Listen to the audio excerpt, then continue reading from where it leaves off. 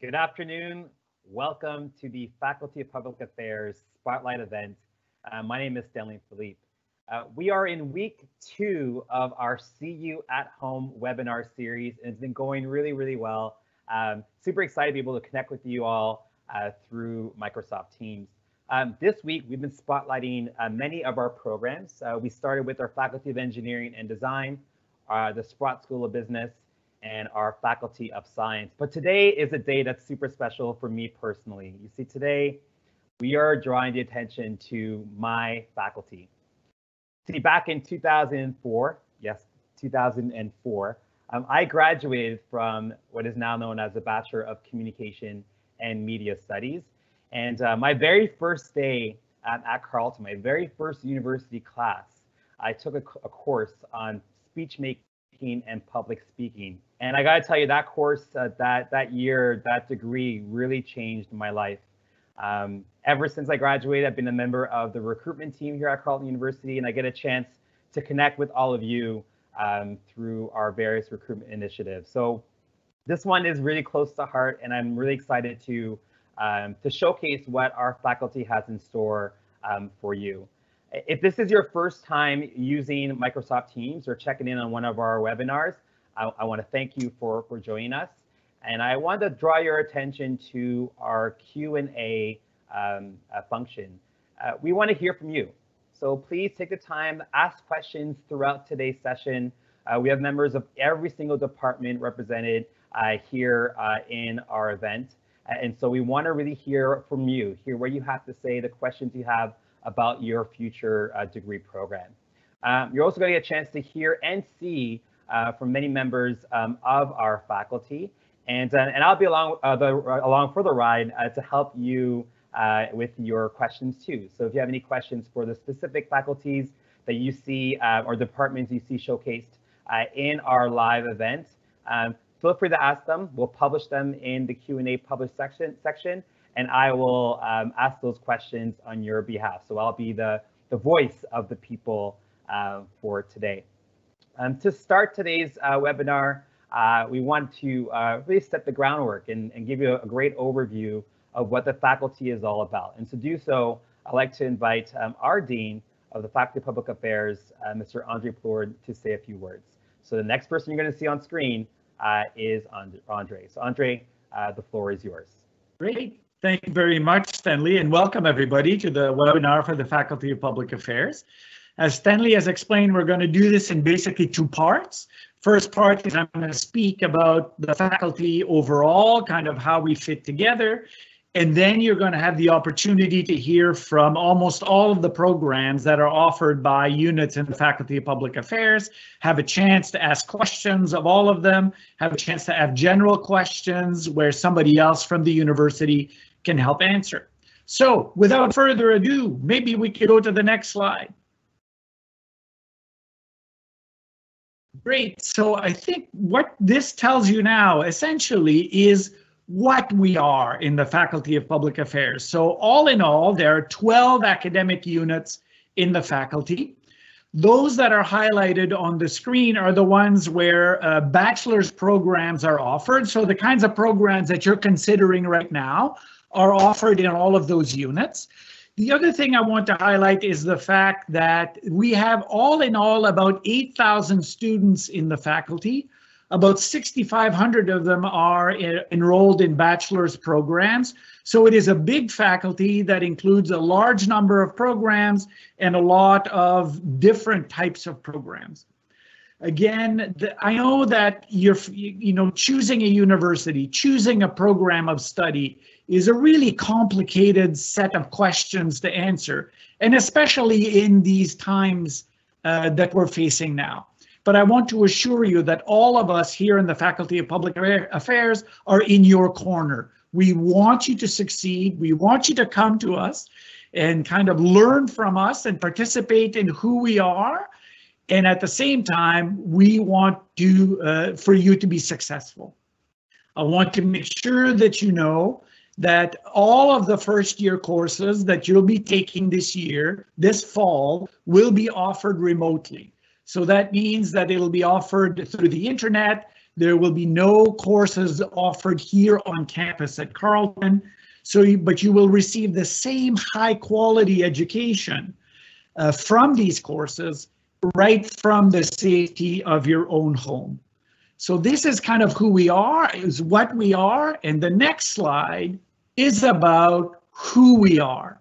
And so this basically brings together five big ideas around which the faculty uh, coalesces. So if you ask people around, what are we all about? Who do we, what kind of ideas do we identify with?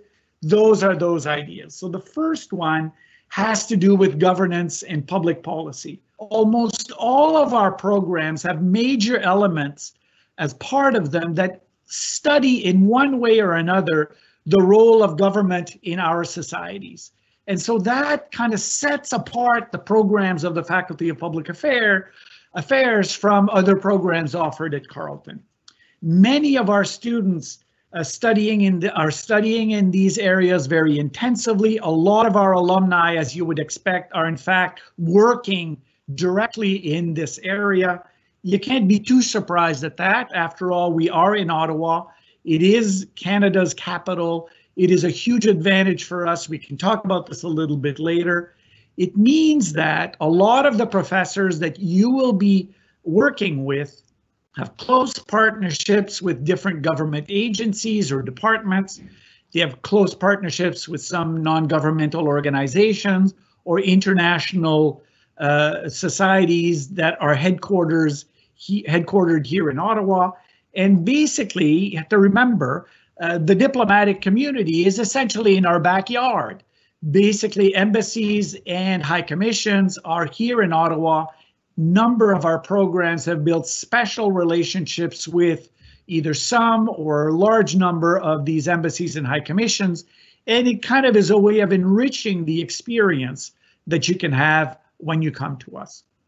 Second big idea, or second and third big idea, are focus on building a better society and building better democracy.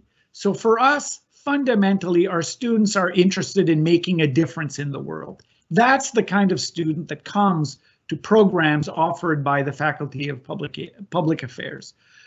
Students, you will learn how to make a difference in the world, how to improve our societies, how, how to work for to enhance uh, de democracy.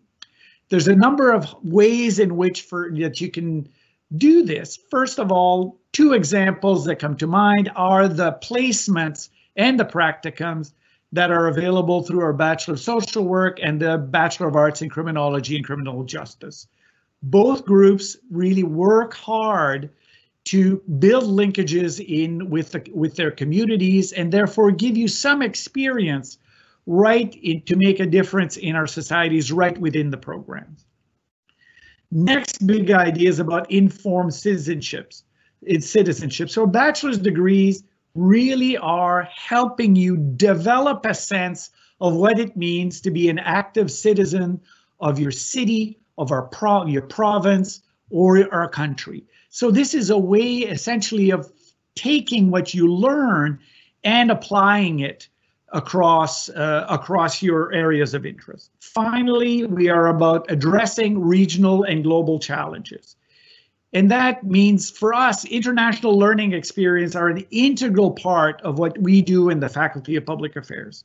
And in preparation for the fall terms and the limitations that we're facing as a result of that, professors have been working to modify courses so that this experience can be achieved at home without traveling internationally. So there's no need for you to fear that you're going to have to have it you have to go abroad in order to develop some kind of, ex of uh, experience, at least for the fall term.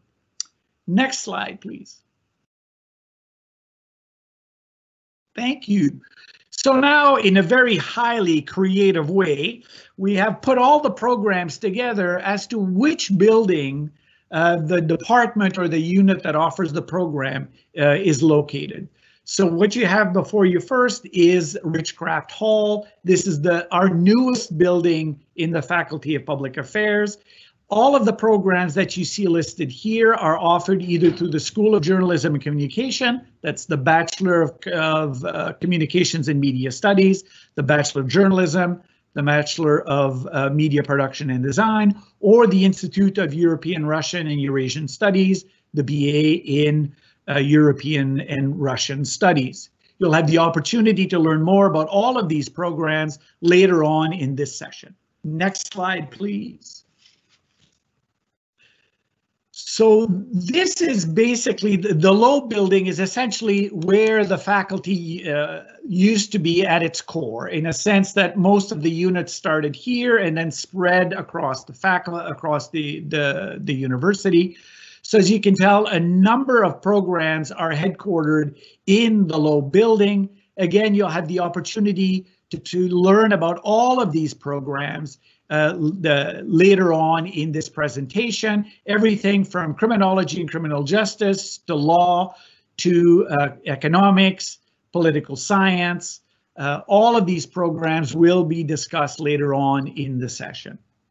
And finally, the last building in which uh, Faculty of Public Affairs programs are headquartered is the Dunton Tower the we have brand new facilities that people will be moving into over the course of the summer for the Bachelor of Global and International Studies. And then the Bachelor of Social Work uh, basically has all of its facilities, including research labs and stuff like this, uh, in the Dunton Tower. So this, what's particularly interesting about the Dunton Tower is it has a beautiful view of the campus, of the Rideau Canal, of Dow's Lake and of the Rideau River. So it is kind of a, a re, an interesting way of seeing the city, but also and the university within its geographical context. So this is a bit of an overview of what we have here in the Faculty of Public Affairs. I'm happy to take some of your questions uh, if you wish. So thank you very much. Awesome. Thank you, Andre, uh, for that uh, awesome overview. And uh, like Andre just mentioned, we want to hear from you. So if you have any questions for uh, the Dean of uh, your Faculty of Public Affairs, uh, please go ahead and ask those questions now. We'll try to get to um, as many as we can during the next 10, 15 minutes or so. Um, but while we're waiting for those questions, Andre, I've got a question for you. you referenced um, our location here in Ottawa. Um, what are some of those advantages that, that Carleton has and specifically this faculty has in being located uh, in the nation's capital? Well, I'll start with something quite straightforward in the sense that a lot of the subject matters that we look at are of, of interest to people working in Ottawa. So we have a lot of people who actually work in Ottawa who bring their expertise on campus basically to teach uh, some of our courses. So we've got a lot of the professionals working in government or in, in public service more generally that will come here and teach some of our courses, bringing what they know about their experiences to the classroom. So a lot of political staffers have come to to talk to teach for us.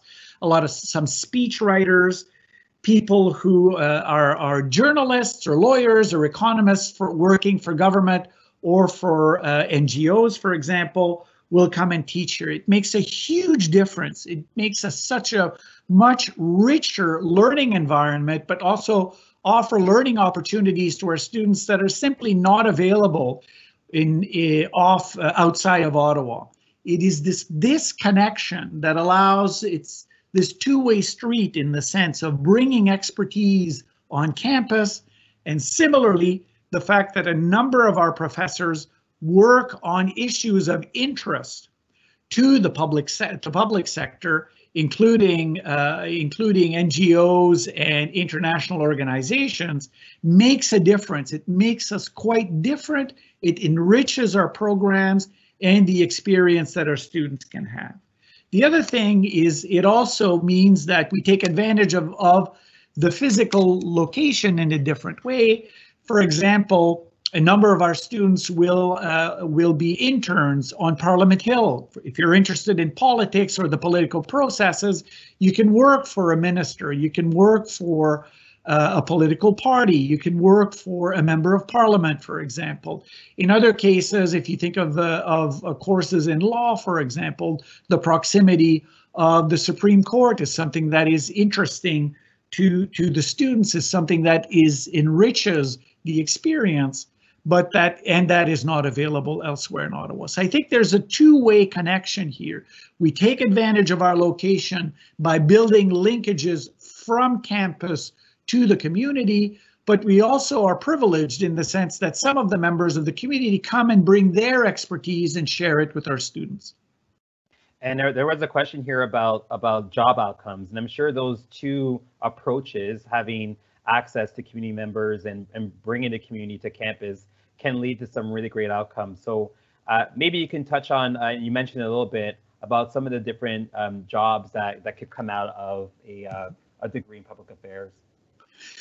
So we have been, we have tracked uh, over the years. We've tracked more than 10,000 of uh, graduates from with degrees from offered by units in the Faculty of Public Affairs, and so looked at the job outcomes that these people have had. All of this information is available on our website at carleton.ca backslash FPA. And the, the, the tab, if you want, on the website is called Career Paths. And so you can look at what typically, what kinds of jobs have people obtained after degrees in the Faculty of Public Affairs. You can't be too surprised, given our location, that a lot of our graduate end up working for government in one form or another. And so that is a big part of who we are. It's a big part of what our students and our grad the graduates of our programs end up doing. The uh, what's interesting, however, is that you can also see the broad reach of our students. A number of our students end up in the professions, for example. So we'll use a degree in the obtained in the Faculty of Public Affairs to pursue further studies and, and go to law school, for example. So there's a lot of information on our website dealing with exactly that sort of issue. Look at how broad the range of experiences are across the degree programs. And keep in mind, what's interesting is that each degree opens a lot of doors. It's not like this, there is a one-to-one correspondence. You do this degree, this is the kind of position that you get. You can see there's a, a rich array of different types of outcomes that our students uh, have obtained once they've uh, secured a degree from the faculty. Awesome. Thank you for that update, uh, Andre. Now, uh, what about activities um, outside of the classroom? So for students who are in the faculty, you know, when they're not uh, necessarily uh, spending time in the classroom, what are some of the activities that are available for them to participate in? Okay, great. Thanks for that. Thanks for that, Stanley. I think the issue for us has been experiential learning. So kind of learning once you're applying what you've learned in a classroom in a, in a real world type of environment is something that we also privilege in the faculty. So we are big participants in the co-op program, for example. A number of our programs have internships or placement components. Both of those mean that you essentially go from campus and go in a work environment either on, either full time or during when you're studying other, taking other courses uh, to obtain that kind of experience. So that's something that students in the Faculty of Public Affairs will have the opportunity to do as part of their degree program. We also offer uh, a number of undergraduate research opportunities. You can design your own project for everything from designing your own project research project to working with a faculty member on or a professor on one of their own projects. Summer, uh, summer and summer programs where students, for example, will will be supported to go and do some do their research projects over the course of the summer. We've got a number of student societies. Almost every unit in the faculty has a, an undergraduate student society that kind of promotes events that are specific to that degree program. We also have a special program that we call the FPA ambassadors, and they're basically here to kind of help us present the faculty to students, to people who come to visit us on campus. They are hosts on, on the many of the public events that we hold on campus, or this year we'll be hold this fall we'll be holding them uh, some of these online. So they, they really are participating in the life of the faculty in ways that uh, that really, I think, contribute to building them uh, to building their success for, uh, for the future. As I said, we have a number of uh, faculty-wide events. We have lectures, we have all kinds of conferences on campus. So there's real opportunity to step a little bit outside of the degree program that you want to participate in and then kind of enrich your experience while you're here with us at Carleton. Awesome. Now there was a question about uh, first year registration, and I just want to uh, mention to the folks out there who um, either are holding offers or who've accepted their offer of admission. Uh, once you do accept, uh, we will be emailing you in the coming weeks uh, to tell you more about uh, registration itself. So the process, how to register, how to access our site. But what I want to ask you, Andre, is um, if there are some special courses that students might want to look out for uh, in year one uh, as they enter into their uh, their degree program. Yes, I think uh, I think it's important to keep in mind that most first year classes are relatively large, so you'll be in there with a lot of different uh, of students. But there are two things that I'd like to highlight. First is that there's a number of courses that are available to students across a number of programs in the faculty where there's a really hands-on component from the outset. Some of these courses are offered by journalism, some of these courses offered by social work and in media production and design, but also more broadly. But there are courses that really are kind of there from your first year to let you ex experiment with material as you go along. The other thing I want to highlight is that we do have what's called first year seminars, which essentially are small groups, so courses offered to relatively small groups of students, talking about a maximum of 30 students in, in a course with a professor that are essentially structured around special topics by and large. So if you think, for example, in, in communication and media studies, in this fall, there will be a, a, a seminar called Truth, Post-Truth, and News. So it is a way of trying to put together special types of topics, but in a way that's quite focused, that will help uh, students develop a broad range of skills, again, in a small group environment. Similarly, in uh, in political science, for example, a first year seminar on offer this year will be Canadian Indigenous relations. You can well imagine kind of taking that from a political science perspective and again bringing this to a relatively small number of students to have a really rich experience engaging with that topic. So I think these are courses and these and a number of other courses uh, are offered as first year seminars and I would encourage students to consider taking them. It's a different type of experience it's something than than a than a large first year class. It really gives you the opportunity to get in depth into a specific topic that you might be really interested in. Now, before we we let you uh, go, because we do have um, a lot of different folks we want to hear from uh, this afternoon, I, I wanted to ask you um, if you have like uh, some bit of advice that you want to give to our our future students as they enter into their undergraduate degree. What type of advice would you give them to make the most out of their degree program? Well, I think for us, as, as I've tried to highlight through all of this, there's so many opportunities to get involved outside of the immediate area of your degree program. And I think that's part of the really exciting thing uh, in the Faculty of Public Affairs. There's so many things that you can get involved uh, with uh, as you do your program. And I would really encourage students to take advantage of those uh, when they're with us in, in their degree program. So it's not just about the specific degree program that you've got. There are a number of ways you can attend lectures. These are all, for example, you can participate as an FPA ambassador. You can become very active in a student society. All of these are ways to complement the experience that you get as part of your degree program. You'll enjoy it, you'll meet really interesting people, and you'll look back once you finish your degree and really think highly of the experience that you've gotten. I think those are great words uh, to, to leave things at. So thank you so much, Andre, for, for this uh, amazing overview. Um, uh, our dean will stay online with you all. So if you have any questions for Andre, please again keep asking them in the Q&A and Andre will be able to answer them uh, through the uh, Q&A um, as well. So what we're going to be doing now is uh, is hearing uh, from our various departments, and we have a lot of amazing departments uh, in the Faculty of Public Affairs, and so they'll be able to give you a, an update, uh, give you a bit of an overview of what's happening in the department, what you have to look forward to, and then again, we want to answer your questions. So when you see uh, a, a, on the slide or the PowerPoint, if you see uh, the name of the department, that means that they are being spotlighted, and so they're able to answer some of your questions live, and we'll take some of those questions um, uh, for you.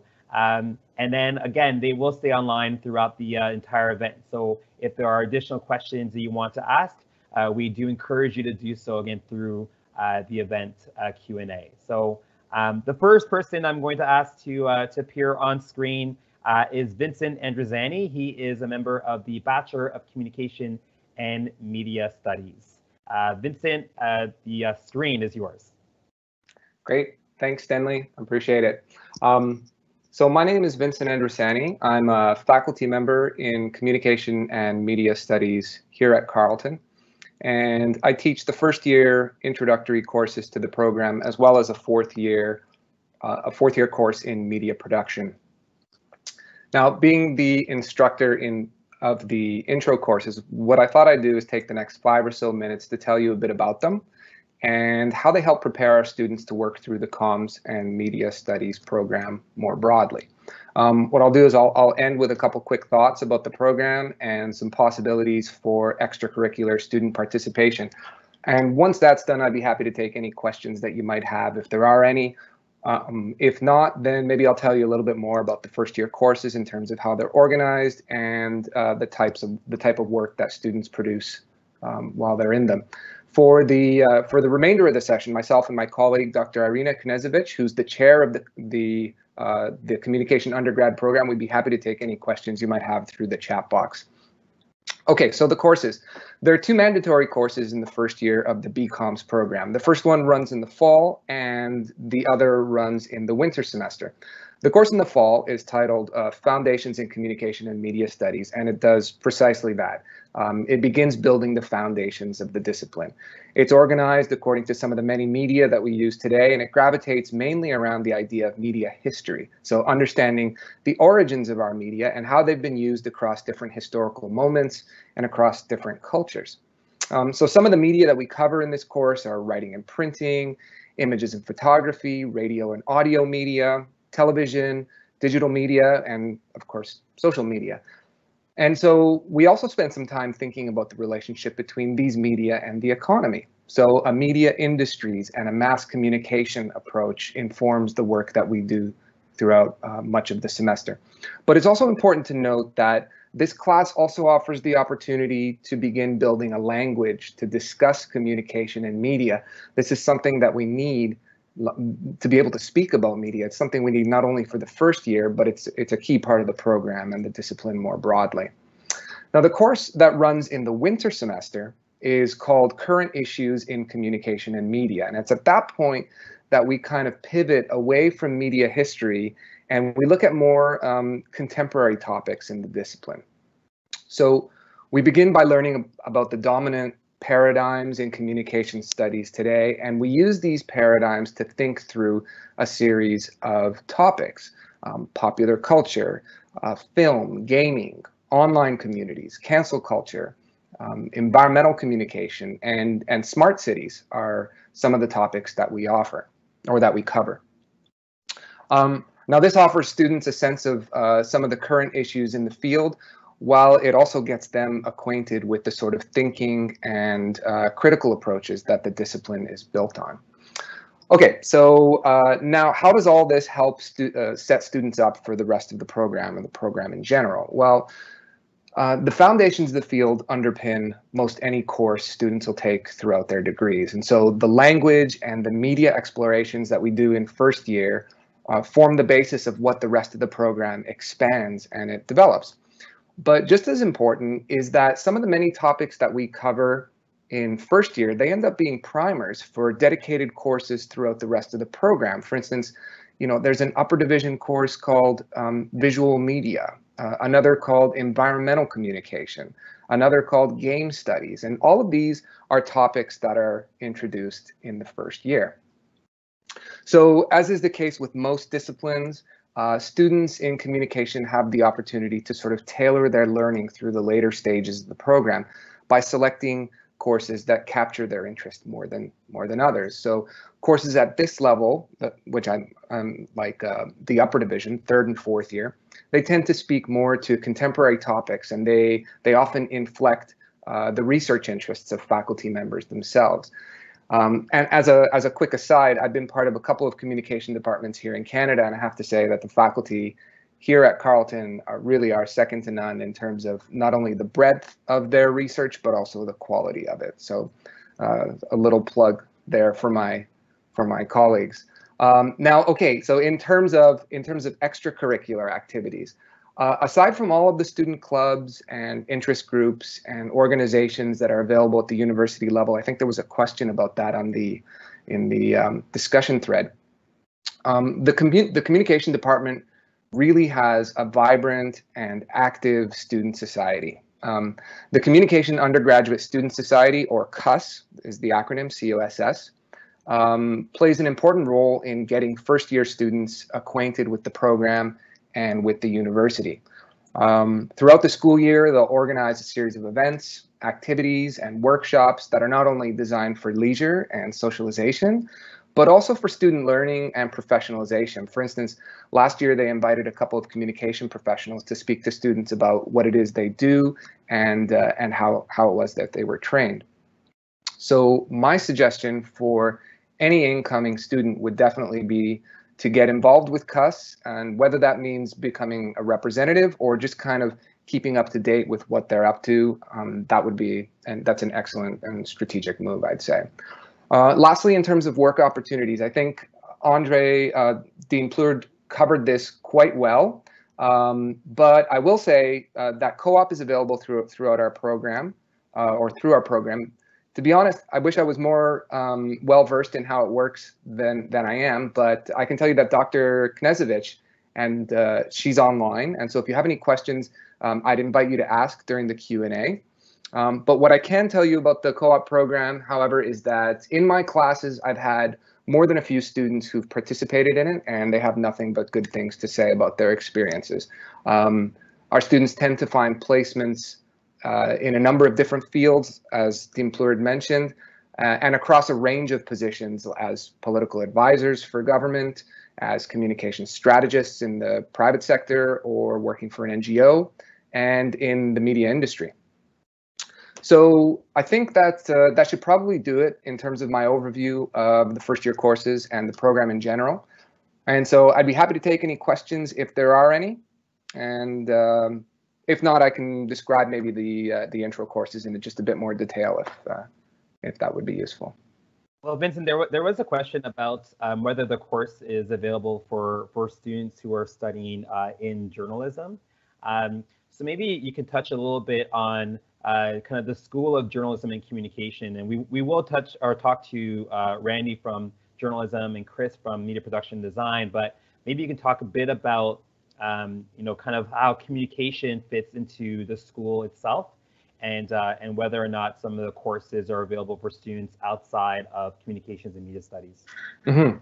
So um, the degree the degree is is largely a sort of uh, it's theoretically oriented. It's theoretically oriented in the sense that our aim in the department is to get students to learn how to think, um, learn how to think and be reflexive and gain what you know what we call media literacy.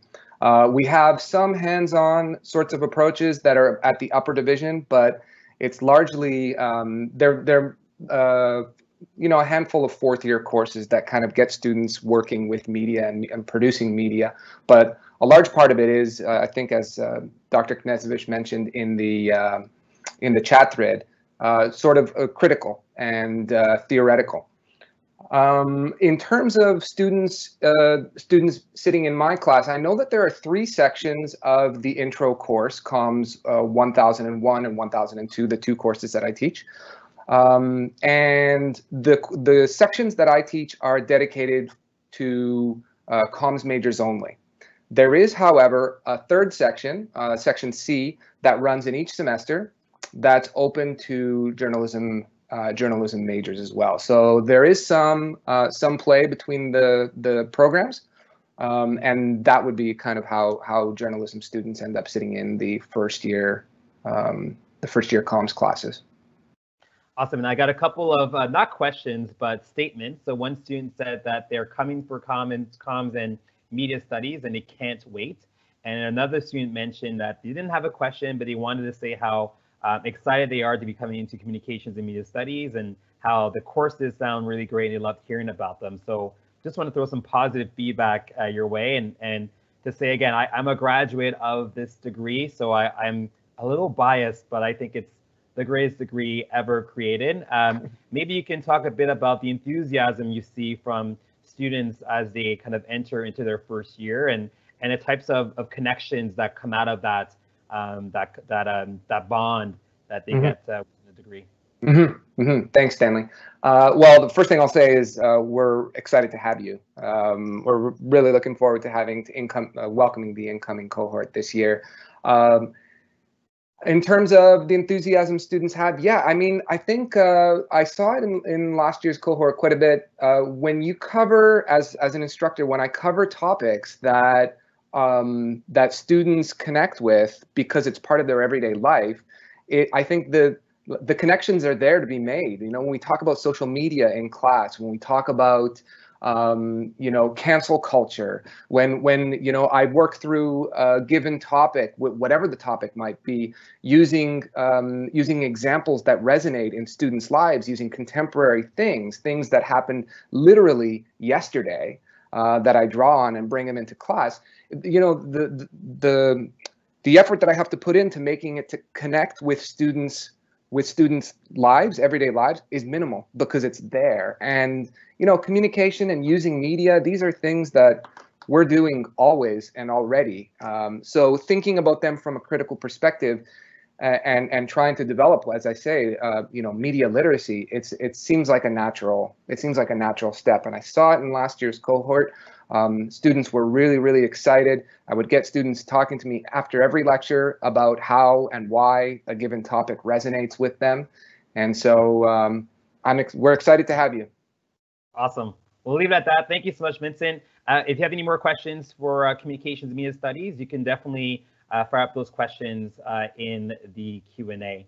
Uh, next person you're going to hear from is uh, Chris Gunn, and uh, he's going to chat a bit about our uh, Bachelor of Economics. So Chris, you're up. Okay, thank you very much, Stanley. Um, and I, will just start by saying you did mention that communications was perhaps the best degree created. I will politely um, argue during this period that economics might take that place, but I would be lovely it would be lovely to relinquish uh, second place. Um, but welcome everyone. Uh, my name is Christopher Gunn. Um, I'm an associate professor and uh, undergraduate supervisor in the Department of Economics. Um, I I'm a macroeconomist, so I teach uh, intermediate macro theory, advanced macro theory at the undergraduate level, and then I do a, a PhD course in uh, macro and monetary theory. Uh, what I want to talk about in the next few minutes um, is, of course, giving an overview of our Bachelor of Economics undergraduate program. Um, and I'd like to talk about an exciting new addition we added to that program um, that will be in place for next year.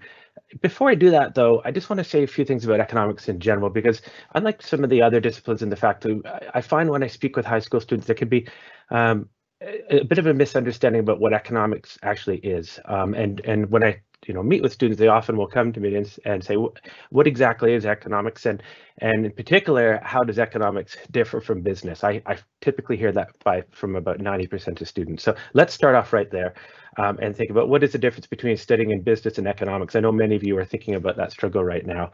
Um, these degrees can overlap the disciplines can overlap. They're both really great degrees but they're fundamentally quite different in the in their approach. Um, in a nutshell in business you're learning about how to create and and operate and manage a business and finance a business. And it's really focused about these administrative aspects of how to run and operate a business. Um, in contrast economics is it's a social science and you're learning a framework for trying to study and analyze decisions or choices made by households and government and businesses. And so there can be you know an overlap in terms of some of the domain but fundamentally it's a it's an intellectual type um, science. Okay. Um, and so what we really like to stress when we think about this is these decision makers making, um, trying to you know make choices when they're trying to face uncertainty and when they're facing competing interests and when they're facing limited resources. Okay, um, and that you know we think develops some a really nice aspect of thinking about this scientific approach, um, and that is what the second thing I want to stress is that fundamentally it's a science, um, and uh, the the primary component of that is that in a pursuit of these questions, we're typically developing theories and forming quantitative models, but then we're always using evidence and data to try to sort through those things. So it's this interplay between these uh, these two modes of thought. And we're using you know data and projections to try to predict and understand this behavior from uh, particular economic actors. Okay, so why do we study all this? Well, um, for one, it's really interesting, but for two, we can actually help society a lot. So, and different aspects of society. So we can deal with important um, societal questions, right? And we can deal with important problems for the government, but we also can deal with a lot of problems and state problems related to individuals and households and uh, um, and businesses themselves. Okay, so so many of you might know that uh, economists study things like uh, business cycles, monetary policy, international trade, inflation, unemployment. Those are the things you often read about uh, when you you know you open the Globe and Mail and look in the business section or just look through the general pages. But that's only a small fraction of economics, and there's a lot of uh, economists, including in our faculty, working on things that typically people would think are part of other fields, things like healthcare, climate change, and the environment. Uh, these are all really, really important societal issues that benefit from having this social scientific type approach and, and the framework that we're bringing to the table. Um, not just as advocates, but really an objective science trying to think about these questions. Uh, we also have economists dealing with things like social structures related to family and marriage. Believe it or not, economists even will talk about marriage markets. Um, so we can, if, if, if there's an object, we can usually create a market for it. Okay. Um, so our Bachelor of Economics degree, it was uh, up to about three or four years ago, it was a Bachelor of Arts degree, and then we migrated it into a, a, very specific Bachelor of Economics degree to try to, I think, improve the optics in terms of what we're actually doing within the degree. And that's, by and large, the students have found that um, really beneficial type change.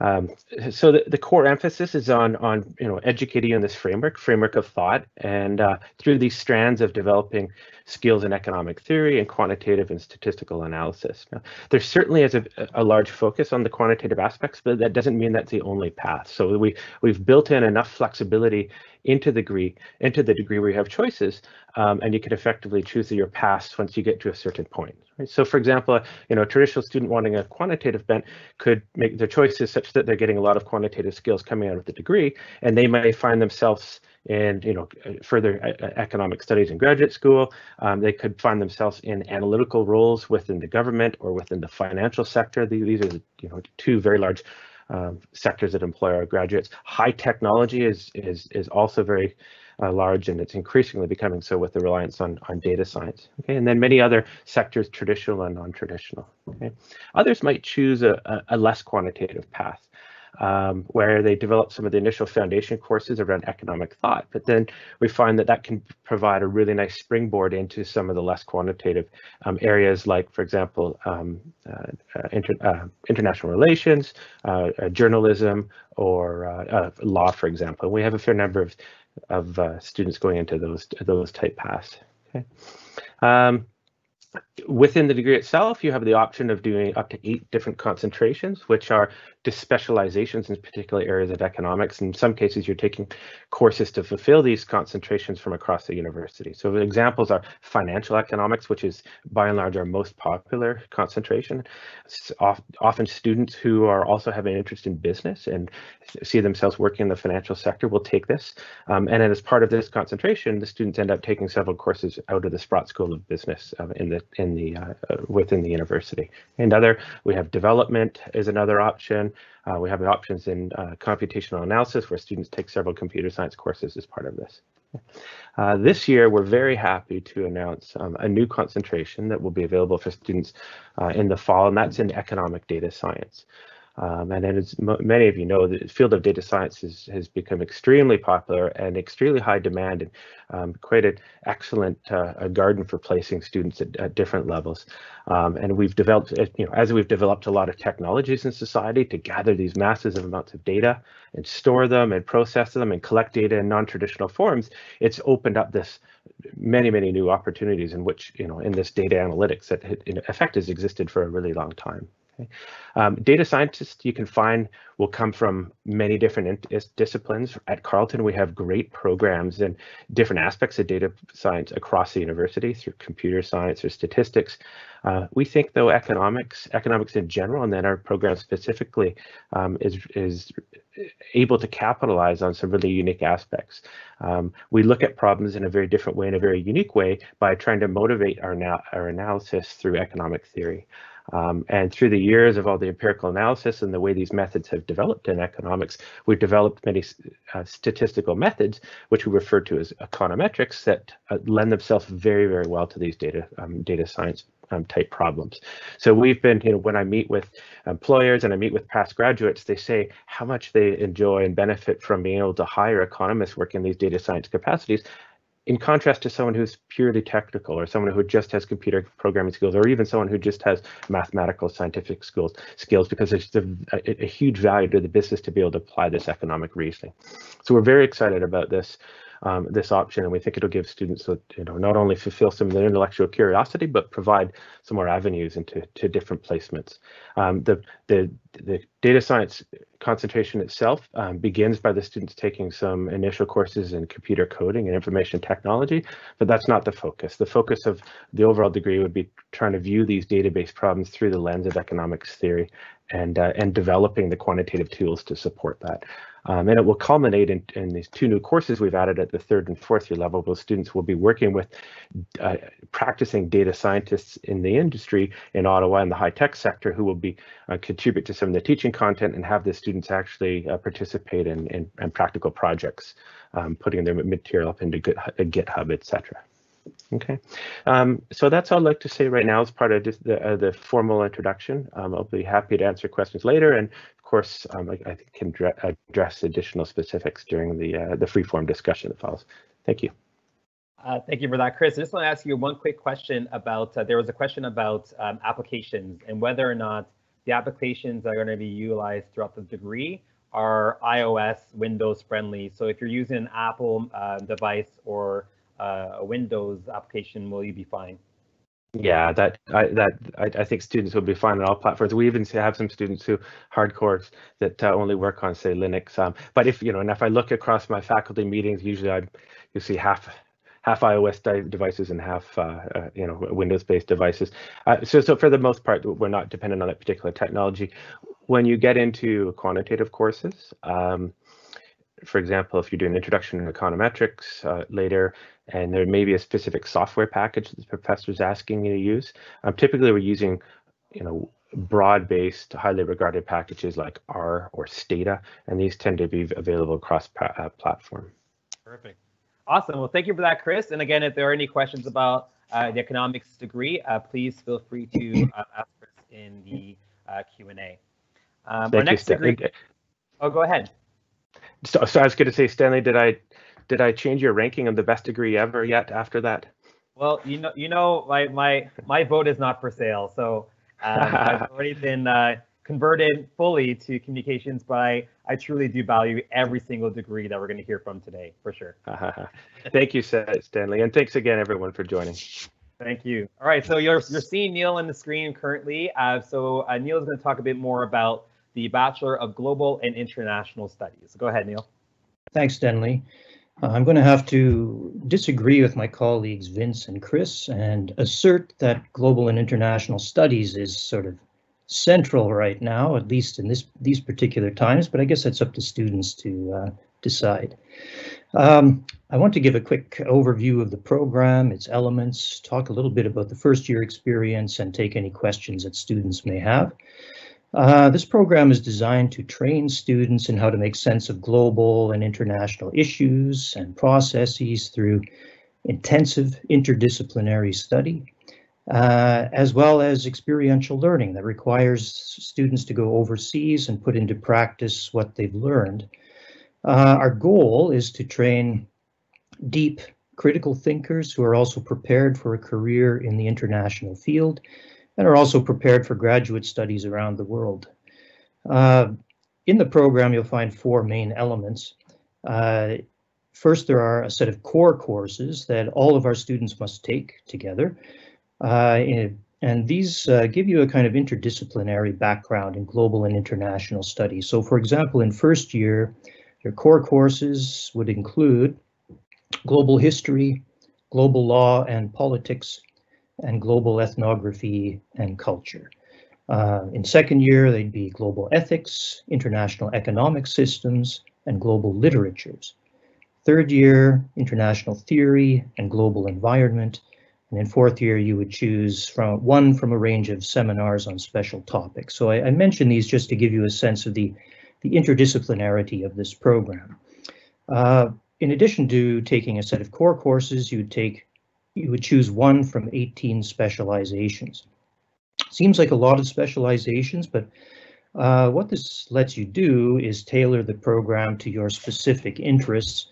Uh, so if you're interested in a particular issue like migration, uh, you can specialize in migration studies.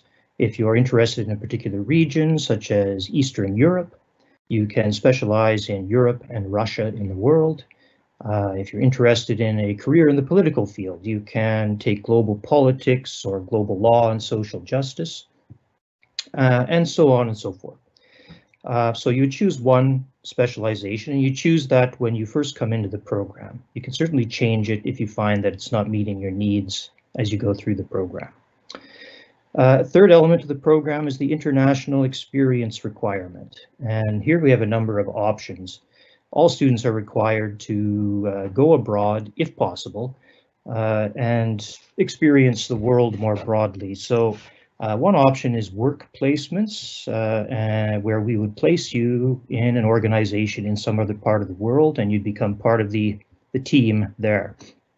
Um, examples of places where students have gone include Canadian delegation to the United Nations, uh, children's sports camp in Uganda, a women's entrepreneurship organization in Vietnam, uh, NATO headquarters in Brussels, an alternative energy organization in Uganda, the House of Lords and House of Commons in the UK, and a number of governments around the world as well.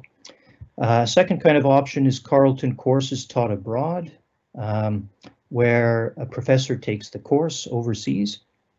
And these include uh, places where students have gone, classes have gone include the International Criminal Court in The Hague, um, Germany to study uh, uh, immigration into the EU, uh, social movements in Havana, um, religious diversity in Israel, and many other places as well.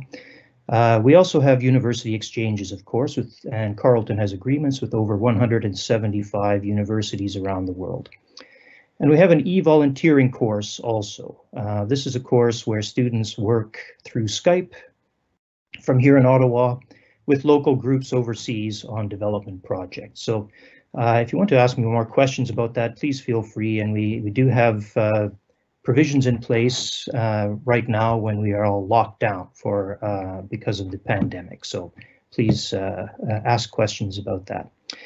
Um, there's also a, a, language requirement, the fourth element of the program, two credits of language courses taken in your first and second year. It can be a language of your choice, any language that Carleton offers, including American Sign Language if you wish. Uh, we feel that that's an important part of being a global person and an analyst of international affairs.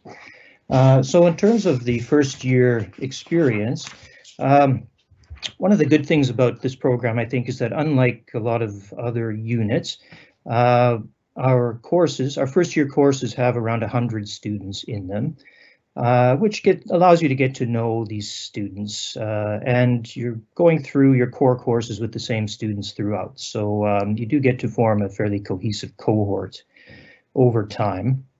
We have a very active student society um, that organizes a number of events throughout the year, including uh, first year social, uh, exam de-stressor, coffee houses, uh, embassy tours around Ottawa, um, networking nights with Ottawa-based professionals, an annual charity gala, and a number of other kinds of events. Uh, in terms of what your first year would look like in this program, um, you'd take uh, three core courses in uh, the GINS, Global History, International Law and Politics, Ethnography, Globalization and Culture. Uh, then you would take two introductory level courses in a language of your course, of your choice rather. Uh, two introductory courses in your area of specialization. So let's say you chose international uh, global law and social justice, then you'd take laws 1001 and 1002, and that would leave you with three electives to take whatever you wanted. So um, overall, that's the program in a nutshell, and I'm happy to take any questions that people may have. Uh, yeah, we actually have two questions uh, that we want to uh, maybe you can answer. The first one was about uh, the international component. So uh, the student kind of uh, mentioned that they they recognize everything that's happening obviously globally this year, but they're looking forward to year three and they're they're wondering where have students gone? So what are some of the places students have gone through the Global International Studies program? Right. So um, basically, they've been to every continent except Antarctica so far. Uh, but um, a lot of uh, uh, students have gone to various African countries working on uh, development projects. Um, Uganda, um, uh, Ethiopia, South Africa, Senegal are ones that come immediately to mind. Uh, students have been to various places in Europe as well, um, Spain, working for international organizations, um, Germany, uh, people have worked for the governments of Malta, Russia, Sweden, Fiji, China, Kosovo, um, the ones that come to mind, once again, off the top of my head. Um, and uh, a lot of our students have gone to Central and South America as well to work on development projects in various countries there. So basically, anywhere you want to go, we can basically set it up for you. Perfect. And the next question was about the specialization. So I think there are 18 specializations within the program. That's um, right. Do students have the ability to change specializations if they become interested in a different area? Yes, they do. Uh, we have staff available. Our advisors are there to help you make any kinds of changes you want.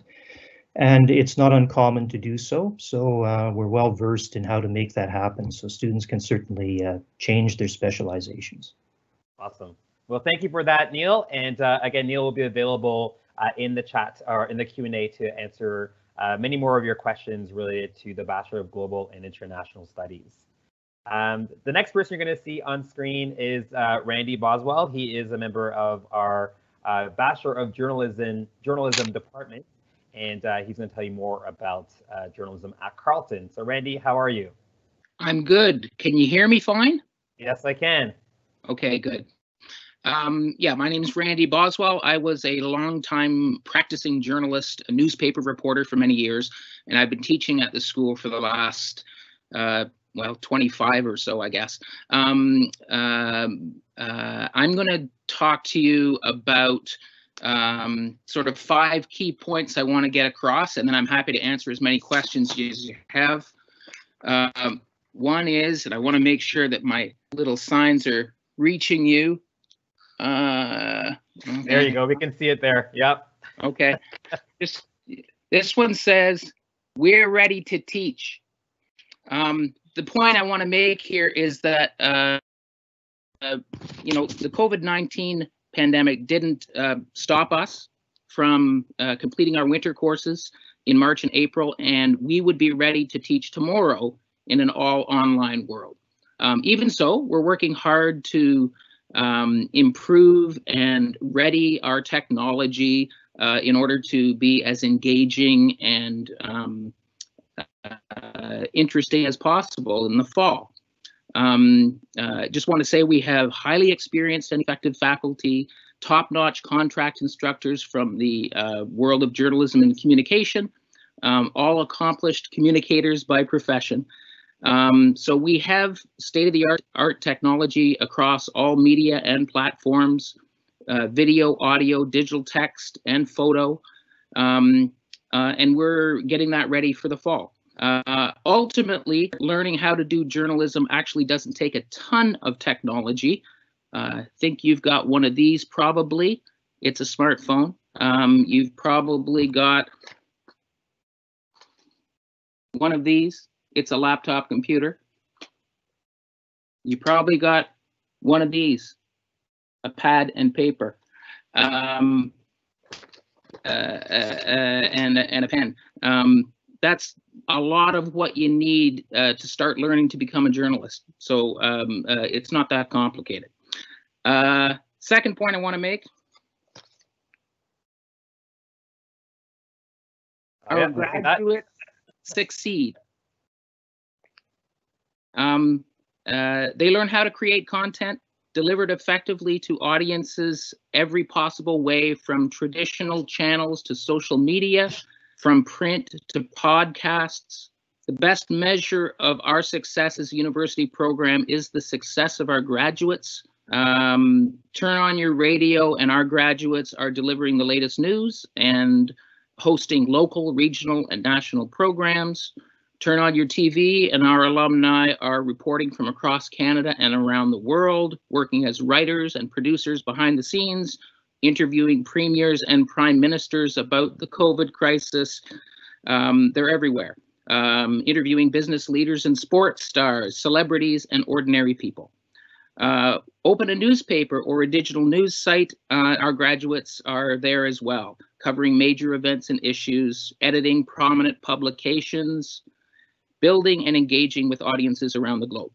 Uh, and J School graduates succeed in many fields beyond journalism, from public relations and public policy to education and entrepreneurship.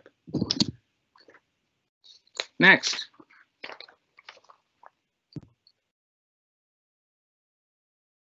We offer a journalism plus advantage. A lot of the programs at Carleton do, in the sense that you combine your discipline with other fields of specialization. And um, we were Canada's first journalism school. Uh, we're Canada's best known journalism school. Uh, and this year, we're actually celebrating our 75th anniversary. Um, you can still see me there? Okay, good. I was frozen for a second. Um, from the very beginning, our philosophy has been that you should not only be trained in the fundamentals of journalism, uh, but also in a range of other subjects with a specialization in particular in one. Um, we believe in graduating well-rounded students, uh, and we know that they benefit from this long-standing approach.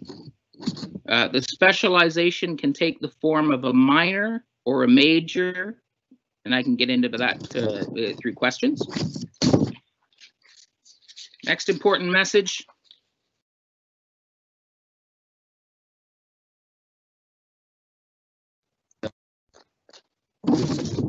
We're a relatively small program with relatively small classes. Even our first year classes, uh, which uh, all of the incoming students attend together, uh, whether in the lecture theater or online this fall, um, will number just over 100. Um, and in the years that follow, uh, our hands-on roll up your sleeves workshop classes uh, where students learn the tools of the trade, often work on actual news sites reaching real world audiences, typically gather about 20 students at a time, a little bit more sometimes. So you get to know your instructors on a first name basis. Um, you learn from us in more formal classroom settings, but you also learn that it's okay to swing by my office, shoot the breeze about what's happening in the world of journalism or the world in general, um, and whether or not the Senators or the Leafs are likely to make the Stanley Cup playoffs, that kind of thing. Um, our students are also experts at creating a sense of community at the J School. So we have a journalism society that um, gathers students together for social events, for mentoring, for networking in the career, etc. Um, and um, you know, I, I just one example of the kind of community cohesion that we have. You know, when this whole pandemic unfolded, um, you know, one of the things that the School of Journalism did was hustle to try and arrange some funding so that a number of our students, a good number of our students, could actually work this summer um, on the uh, on the flagship publication of the School of Journalism. So we're in process right now of hiring about 20 students who are going to be, um, uh, you know, uh, producing journalism over this summer um, and and having it published on our school um, uh, publication called Capital Current. Check it out. And finally, um, this is really reinforcing some messages that uh, Andre and others have uh, already articulated. Um, but this says, if I can get it right, Carleton's campus and Canada's capital are awesome. Um, you may not be coming to Carleton physically in September, uh, but you'll be getting here eventually. Uh, it's a beautiful campus set off from the busier parts of the city, surrounded by water and green spaces.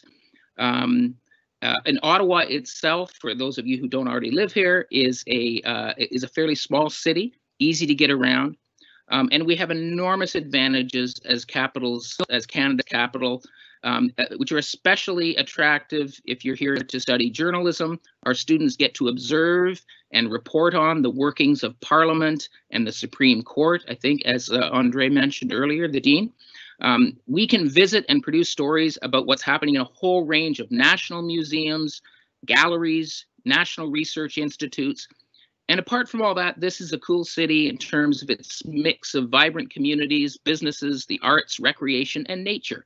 Um, between Carleton's campus and Canada's capital, uh, this is a really great place to spend four years of your life. Ask away if you have any questions. Yeah, I love that message, uh, Randy. And, and one of the things that I noticed when we were um, kind of at the beginning of this pandemic was uh, some of the, the work that your students were able to do uh, related to COVID-19. I know there was an article written about the impacts of uh, COVID on religious organizations and, and churches as they converted to the kind of um, online uh, virtual spaces. So maybe one of these you could, uh, again, mention is uh, the idea of the skills and how transferable these skills that our students are getting um, are to not only um, the journalism world, but to other avenues as well. Yeah, sure. I mean, um, you know, one of the things that we emphasize is that we're, um, you know, we're educating, um, you know, future journalists, but the skills that you get here are, uh, you know, across a broad range of technologies, and it's also conceptual too. You learn how to tell a story. You learn how to observe and gather information in the world. These are skills that are uh, of value um, outside the traditional news business um, that many of us, uh, uh, you know, were employed in for many years, um, many centuries.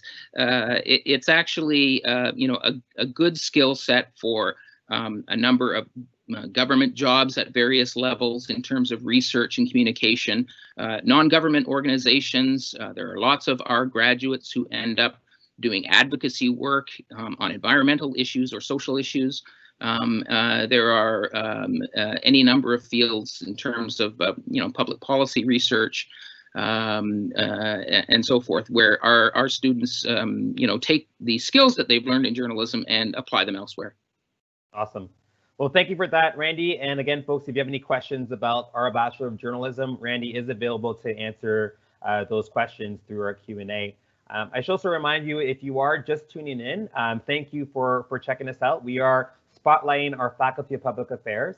And the next program you're going to hear from is um, the, the, newest program or degree to, uh, to join the Public Affairs family, uh, the Bachelor of Media Production and Design. And you're going to hear from Chris Waddell, who is not only a, a, really great member of our community, but also a longtime Toronto Maple Leafs fan. So, uh, Chris, uh, thank you for that long time support and uh, looking forward to hearing what you have to say about the program itself. So, if you want to press the unmute button, and uh, the floor will be yours.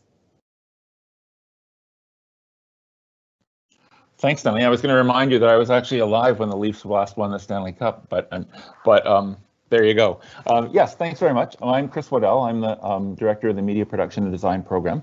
It is, as Stanley noted, uh, a new program at, at, Carleton. We're just starting our third year. And it's going to be a really exciting year for uh, for a couple of reasons I'll tell you about in, in, in a minute or two.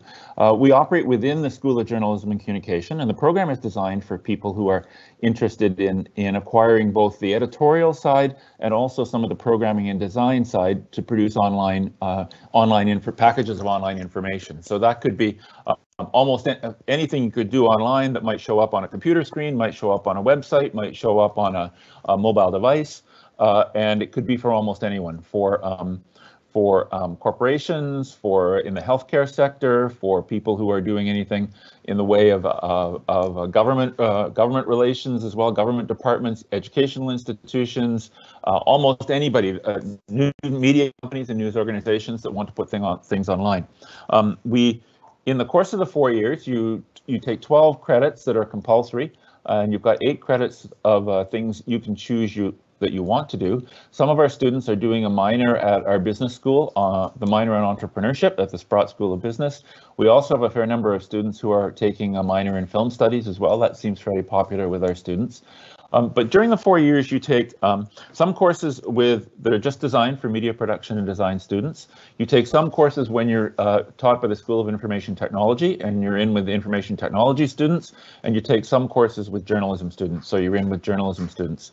Uh, in first year, you do um, you do um, a couple of courses with information and technology, a course on introduction to web development, uh, another course on inter introduction to interactive multimedia design, and then an introduction to programming. Whereas the, the um, um, media production design courses you take are one on uh, introduction to storytelling in the fall term, and then in the winter term you get into the fall term is mostly about uh, about theory, and the winter term is more about practice, where you get to actually do things. And um, we take in about 60 students a year.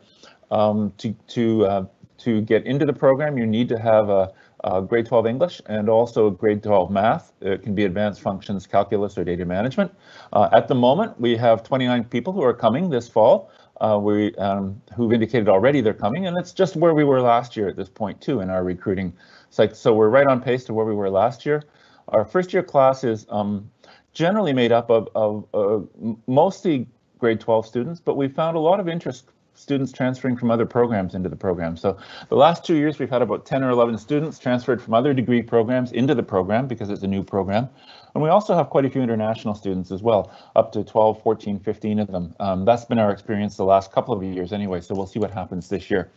Um, I said this was going to be a particularly interesting and exciting year for us because um, because of several things.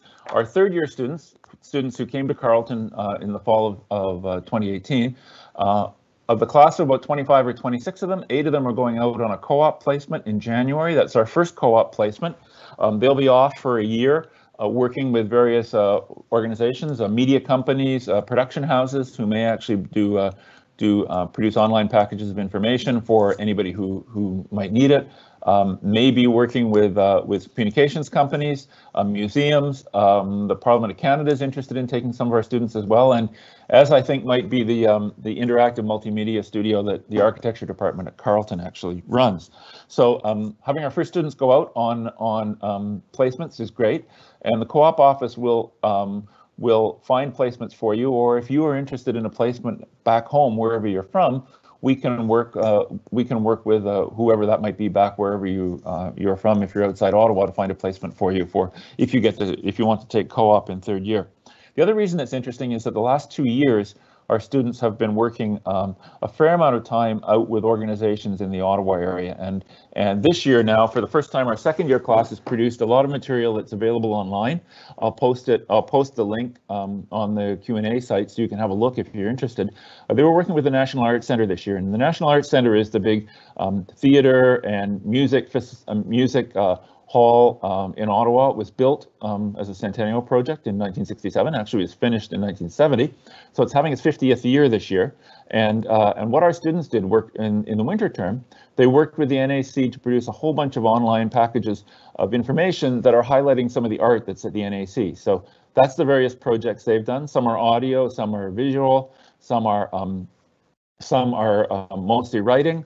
Uh, in the program, you take all those things, you do video, you do uh, photography, you do audio, Uh, you work with uh, 360 cameras. We're also starting into uh, augmented reality and virtual reality. And then you're also doing some of the, um, the work on the design side as well.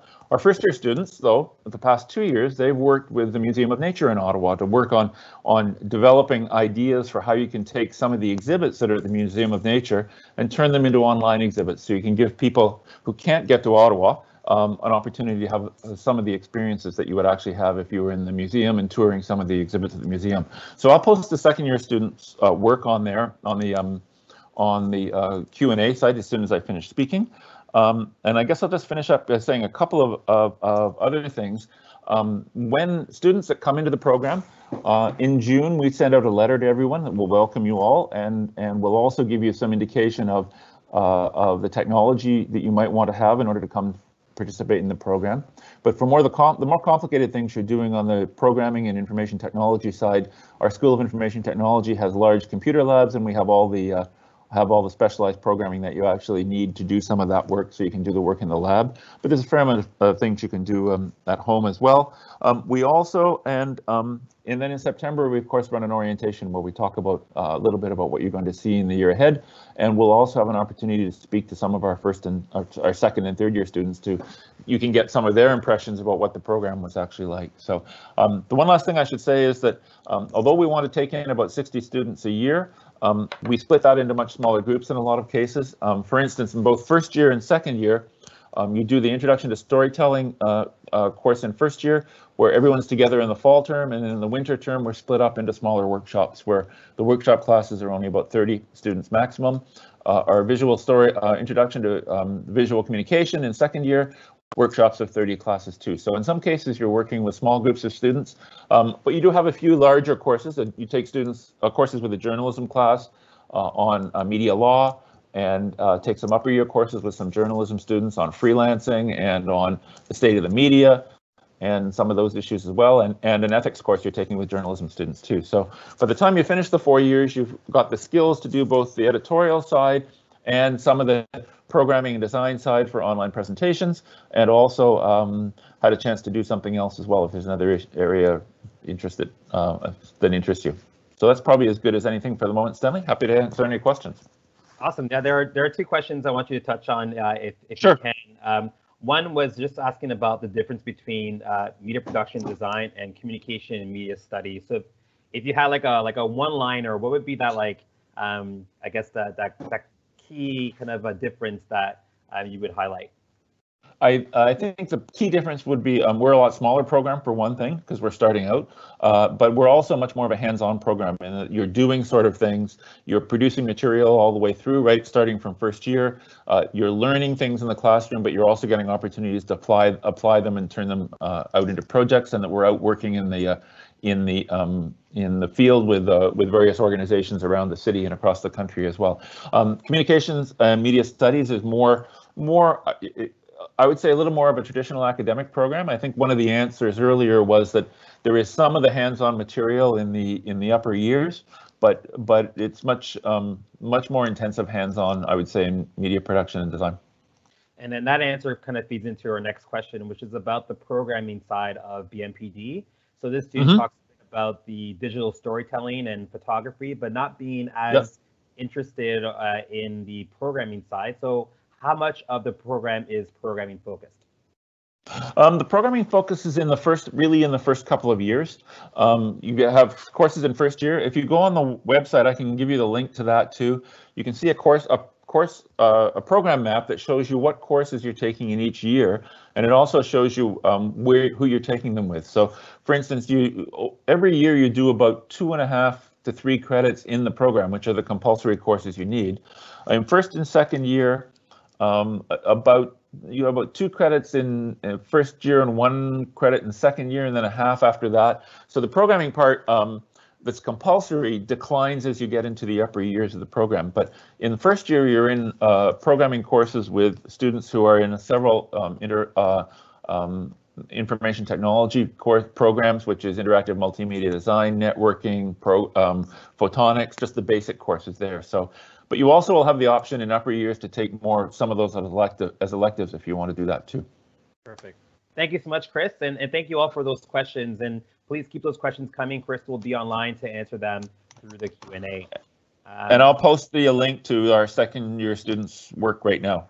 Perfect, thank you. So our next degree program is the Bachelor of Public Affairs and Policy Management. And I'd like to ask Lisa to uh, tell us a bit more about uh, that program. Hi, everyone. Uh, thank you so much for watching today. Oh. Yes, my mic is unmuted. You're perfect, yeah. Good.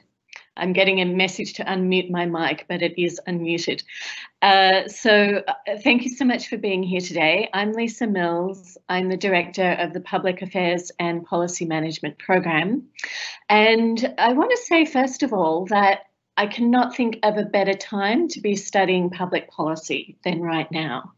Uh, what is happening right now is that every day there are public policy decisions being made. So there are decisions being made about what can open and what has to remain closed. Uh, there are decisions about how much support to provide to students over the next couple of months. Um, there's decisions about which businesses should receive financial support in the form of loans or grants. Um, there are decisions about the emergency benefits payments. Every day, there are critical public policy decisions being made about how to deal with this pandemic. And these um, public policy decisions are being made in the present um, to deal with the absolutely critical situation we're facing. But in the next few years, we're going to need to think about, okay, even broader and more structural kinds of changes uh, to deal with the, the fallout from, um, from COVID. So our degree uh, is really designed to prepare you to contribute to the debates and the policies and the decisions that are, are going to be made um, in the next few years and for the rest of your lives about how to deal with this very changed world that we have. Uh, in fact, um, one of our alumni, Joe Cressy, is actually very involved with this right now. He's the chair of the Toronto Bo Board of Public Health. So every day right now, one of our graduates is making decisions about how to deal with the effects of COVID in Toronto. Um, so to tell you a little bit more about the degree itself, um, it's a limited enrollment degree program. What that means is that it's small. Okay, so we had 80 students who were enrolled last year, and um, so we hope we um, aim for a number of less than 100 to uh, join our program. This means that you have the experience of being with a small cohort and you get to go through um, the central part, the foundational part of the program with that cohort. And that cohort are usually uh, students who are fantastic students who are very keen, who are very keen on public policy, really committed, um, interesting, wonderful young people.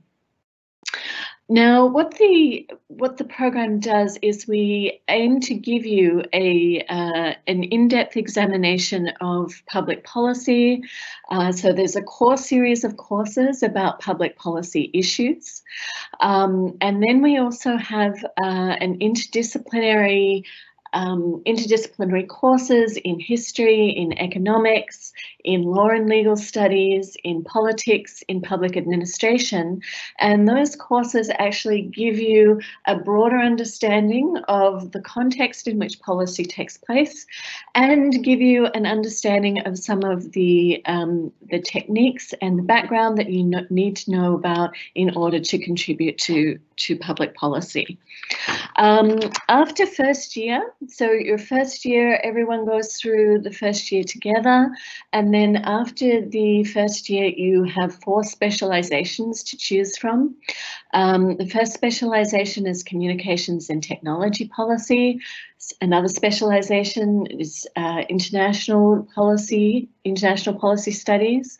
Third specialization, development policy studies.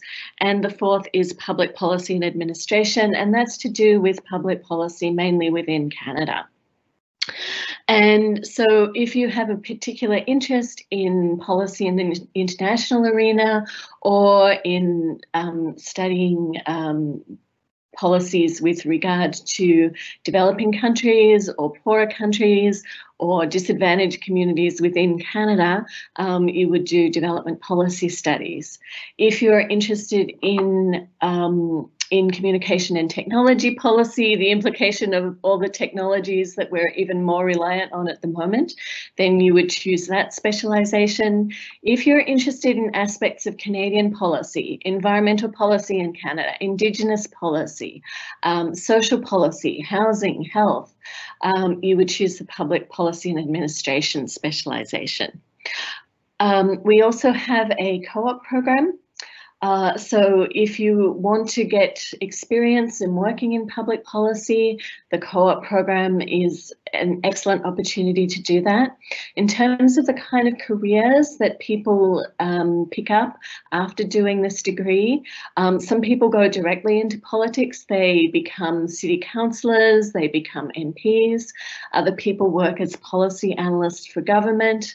Other people work for think tanks. Uh, so we have um, people who work for the Maytree Foundation or the Broadbent Institute doing research on policy. Um, and other people go on to law school or masters in public health, masters in public administration. So there are many um, interesting options to contribute to policy as a result of this degree. And um, it's working in policy is really important, especially at the moment. Uh, so I will leave it there in case there are any questions. Thank you for that, uh, Lisa. And I, I should mention, uh, I'm the Carleton page liaison, and a lot of our um, House of Commons pages uh, end up studying in the public affairs and policy management programs. So maybe you can uh, elaborate a bit more on uh, those connections to Parliament Hill and how that's used to really enhance the academic experience. Yeah, um, so we usually we usually have uh, one or two people every year who are pages in the House of Commons page program, uh, who are also in the PAPM program. So that means that um, there's a really tight connection between the kind of work they're doing on Parliament Hill, um, where they're assisting members of Parliament and getting to learn about the operation of Parliament, there's a really tight connection there between what they're doing and our and what they're learning in our degree. So the two things really reinforce each other very nicely. Um, because of our location in Ottawa, and now obviously things will be a little bit different this year because we're going to be learning online. But um, because of our location in Ottawa, what one of the things that we do is we go to Parliament and we hear from Parliament we hear you know from people working there in the building um, about how parliament works. Um, we also go to the supreme court of canada. We bring policy analysts and advisors working for government um, into the classroom to talk about the kind of work that they're doing. Uh, you have the opportunity to work um, on your co-op as um, a junior policy analyst or to work in a non-governmental organisation um, like the United Nations Association of Canada or the World University Society of Canada. Um, so you have the opportunity to work uh, gain experience in international fields as well as in Canadian public policy uh, through our degree.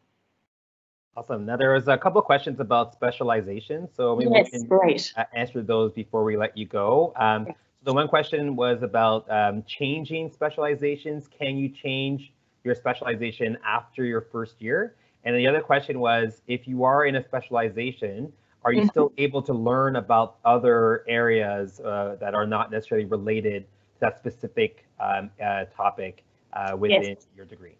Absolutely. So you choose your specialization in your second year, not your first. So your first year gives you an opportunity to um, learn some history, some economics, public policy, Indigenous studies. And from that, hopefully you'll be able to say, okay, I know what specialization I want to go in and you pick that in second year. But if in second year or even in third year, you decide, you know what, this specialization really isn't for me, I should have done another one no, no loss there. You can switch specializations. That that is certainly possible. And um, while you're doing your specialization, um, you will also have the opportunity to do courses, particularly in your second year. You'll still be doing um, courses that are broader than your specialization. So you will still be doing courses that are core to the public affairs and policy management program, and you would still be doing, say, um, courses in law and legal studies about the Constitution, for example, which is pretty critical if you're working in public policy. Um, or you might do um, you might do uh, continue with history courses or economics courses, depending on which specialization you're in. Um, so what we we try and get a balance between depth and breadth in our program. So we try and give you depth in a bit in a specialization, but also breadth in terms of having an in what's called interdisciplinary experience, doing courses from different disciplines, um, and courses that will give you context uh, for studying public policy. Awesome. And yeah, and was there another question there that I missed, Stanley? Uh, not for the moment, but there may be some more questions coming up. So um, definitely, uh, folks, keep asking those questions uh, about public affairs and policy management to Lisa, and she'll uh, definitely answer those questions in the Q&A. So thank you so much for that awesome update.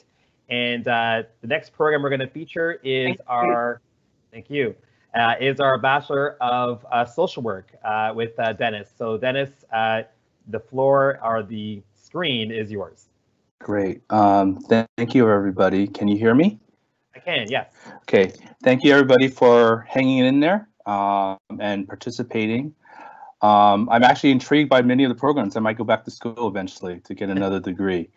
Uh, so I'm here to talk about social work, uh, the Bachelor of Social Work program at the School of Social Work. Um, I'm a, a, faculty member, associate professor with the school, and also the uh, BSW program supervisor. So I kind of oversee the, the entire program. Um, so I, I, just wanted to kind of briefly talk a little bit about what social work is and kind of where our program kind of fits into that. Um, we're often referred to as the helping profession, um, but what that means and how we help people can it, it can mean a broad number of different things. Um, and so you might find social workers engage with a broad range of issues and populations, including some of our most vulnerable populations in our society, including children experiencing abuse, the homeless, low income, individuals with mental health or substance abuse problems, etc. You also find social workers working with these different issues and populations at different levels, um, working with them one-on-one at the individual level, working at the community level, or even at the policy levels. Uh, they do this in a number of different ways, including individual one-on-one counseling, doing policy work, being engaged in community development and practice, managing organizations or programs, conducting research, etc. Uh, many social workers work either in nonprofits, hospitals or clinics, social service or government agencies, etc. Some even open their own practice, private practice, and I know colleagues who are working in the private sector, you know, either in human resources or things like that.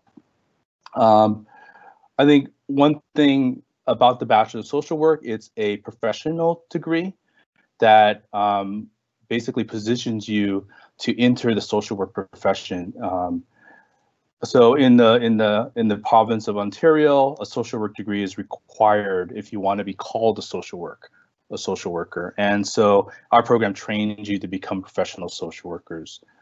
Um, as a profession, social workers are governed by a set of values. And so one of our key values is a commitment to social justice and equity. And so as we're helping people at an individual level or a community or policy level, you know, it's all within a framework of social justice and a commitment to creating social change. Our program currently has 366 students um, split across the four years. Our program is basically split between in in halves. Uh, first half is kind of foundational, where you're you're taking more foundational courses um, to kind of provide you the theoretical, the practice foundations, and then the second half is kind of what we call our advanced program, where you you begin to just kind of more specialize. So if you want to work with individuals specifically, you would be taking courses specifically on that. If there's um, and there's also an opportunity to take courses um, doing social work with specific populations, like uh, such as indigenous peoples, racialized communities, persons with disabilities, etc. In the third and fourth year, also one of the requirements is that you'll be doing a practicum each year. And so we have a requirement of two practicums that basically put you out in the field. And the purpose of those is really to kind of link the theory and the knowledge and the kind of the practice skills that you're learning in the class and really trying to um, apply them in the field. And um, hopefully the, the practicum plus the courses provide a mechanism for you to link theory with practice. Um, so our goal really as a program is to create an environment or space where you can develop your knowledge and skills academically, practically, as well as professionally. Um, our main goal is to prepare students to be competent, accountable social workers and advocates of progressive social change. And I think that's it. That's all I had. Um, yeah. I can open it up for questions. Yeah, actually, I had I had one thing I want to, to add on there is um, it's something that we, we hear a lot about when we, we chat with um, with your department, uh, which is the structural approach. So maybe Dennis, you can talk a bit more about uh, what that structural approach represents uh, for our social work program and how does that make us kind of um, stand out from other uh, BSW programs across the country? Right. So one of the dominant frameworks in social work in Canada, as well as in the US, where I'm actually originally from, is this notion of person and environment. So even if we're working with in, individual children or individuals um, dealing with grappling with mental health problems, um, as social workers, we we have to take into account the environment that they come in, that they live, where they work, etc. Because a number of different factors we believe, such as environmental factors, um, policy factors, etc., um, may have be factors and and may influence kind of their behaviors or their or the challenges that they're facing. And so the structural approach is is structural theory theory of social work is is is a little more specific th in thinking that there are systemic kind of factors that really that all of us are kind of grappling with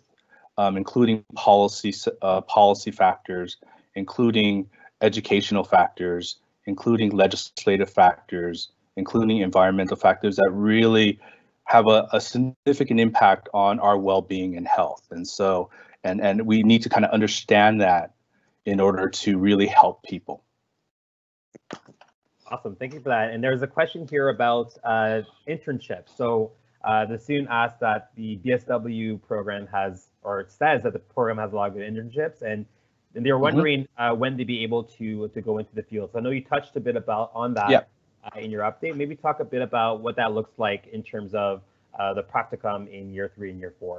Right, and so those are the practicums that I was referring to in your third and fourth year, and um, you start really so for example for if you're third if you're doing a third year practicum you really have to start thinking about and preparing in in the semester before that in order and and our practicum staff and and faculty will help you um, link you to uh, various organizations. Um, part of the process is that you'll be doing an interview with the with the um, potential placement uh, where obviously they're trying to see if you're you're you're you're ready to do the practicum there, as well as you want to see if it's a good fit for you as well as a student who wants who wants to learn about specific things. Um, the fourth year practicum is really so the third year practicum is kind of a more generic um, where you can kind of gain kind of general skills. The fourth year practicum is really where hopefully you'll be able to find a placement and and our, our staff and faculty will help you do that of placement that really is is is kind of in your interest area or or or specific to what you want to learn and, and kind of the skills and, and experiences you want to gain as a student in your fourth year. And so um, that's kind of how, and, and again, for the fourth year practicum, you have to really start thinking about and preparing for it. And we have a process in um, a formal process where you, that you go through the semester before you you intend to go into practice, a practicum. Well, great. Well, thank you for that, Dennis. Appreciate the updates. And uh, again, folks, if there are any questions about the Bachelor of Social Work, please uh, go ahead and uh, ask those questions in the uh, Q&A. Uh, so now, then our next program is uh, the Political Science program. Um, and we're going to invite Dana to say a few words about uh, this uh, major in the Bachelor of Arts degree. Great. Hi. Thank you very much. And good afternoon. Thank you all for joining us today. I'm Vandana Bhatia. I'm an assistant professor in the Department of Political Science, and I'm also the undergraduate supervisor um, for our undergraduate program. And I'm really happy to be here today to tell you a little bit more about it. Um, so as people have already alluded to, um, we know firsthand that we're living in a pivotal time for politics and public life. Um, and it's clear that that the COVID um, pandemic will have profound, long-lasting effects on the relationship between government and society. Um, effects that go beyond just dealing with the public health crisis, which is a significant part of it, of course, but also, um, you know, posing challenging fundamental questions about human rights, about governance, about the nature of citizenship and democracy. But even before COVID, we were faced with global events um, and issues like terrorism or international security, food security, climate change, mass migration, and of course, all of the long-standing domestic issues that need our attention as well. Relations with Indigenous peoples, the health of our population, wealth, poverty, inequality, among many, many others. So these are all complex problems and challenges, um, as well as opportunities, and they need fresh thinking and innovative solutions. So that's where you and I come in. Um, if you're curious about the world that we live in, if you want to learn more about it, and if you want to help to influence what's to come and how we deal with some of these challenges, then political science is the program for you. Um, our department's mission is to contribute to public life through our research and especially through our teaching. So our goal is to cultivate graduates who are knowledgeable and curious about the world, people who appreciate diverse perspectives, and who are equipped and engaged as, as engaged and active citizens. So how do we do this? Well, Carleton has one of the largest departments of political science in Canada. Um, and so that means that we have a really diverse faculty with a wide range of teaching and research expertise. Um, and we provide a, a, comprehensive range of courses and topics um, and programs of study for you to choose from.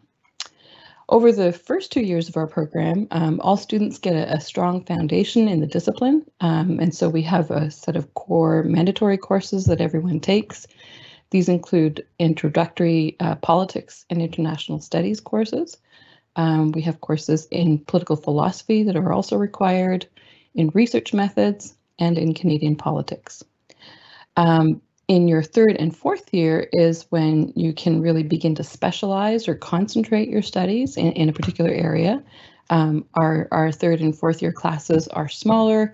Um, our third year classes about anywhere between 50 and 65 students, and our fourth year seminars are capped at about 25 students. So you really have an opportunity to engage, um, get into discussions, do hands-on work in, in your classes. So once you reach your third and fourth year, um, you have an opportunity to um, to focus on a specialization in one of eight of our concentrations that we offer in areas such as Canadian politics, gender studies, political theory, public policy, international relations. You can also focus on particular regions of the world, um, so African studies, North American politics, European and Russian studies, for example. Um, and you can also develop your own path by choosing courses from a variety of fields um, that are tailored to your interests. So, for example, you could take courses in human rights and individual liberty. Uh, you could study globalization in terms of development, wealth, and poverty. Um, we have a variety of courses that focal, focus on global politics of migration. So you could, you know, take a different uh, a range of courses that kind of develop your interest in that area.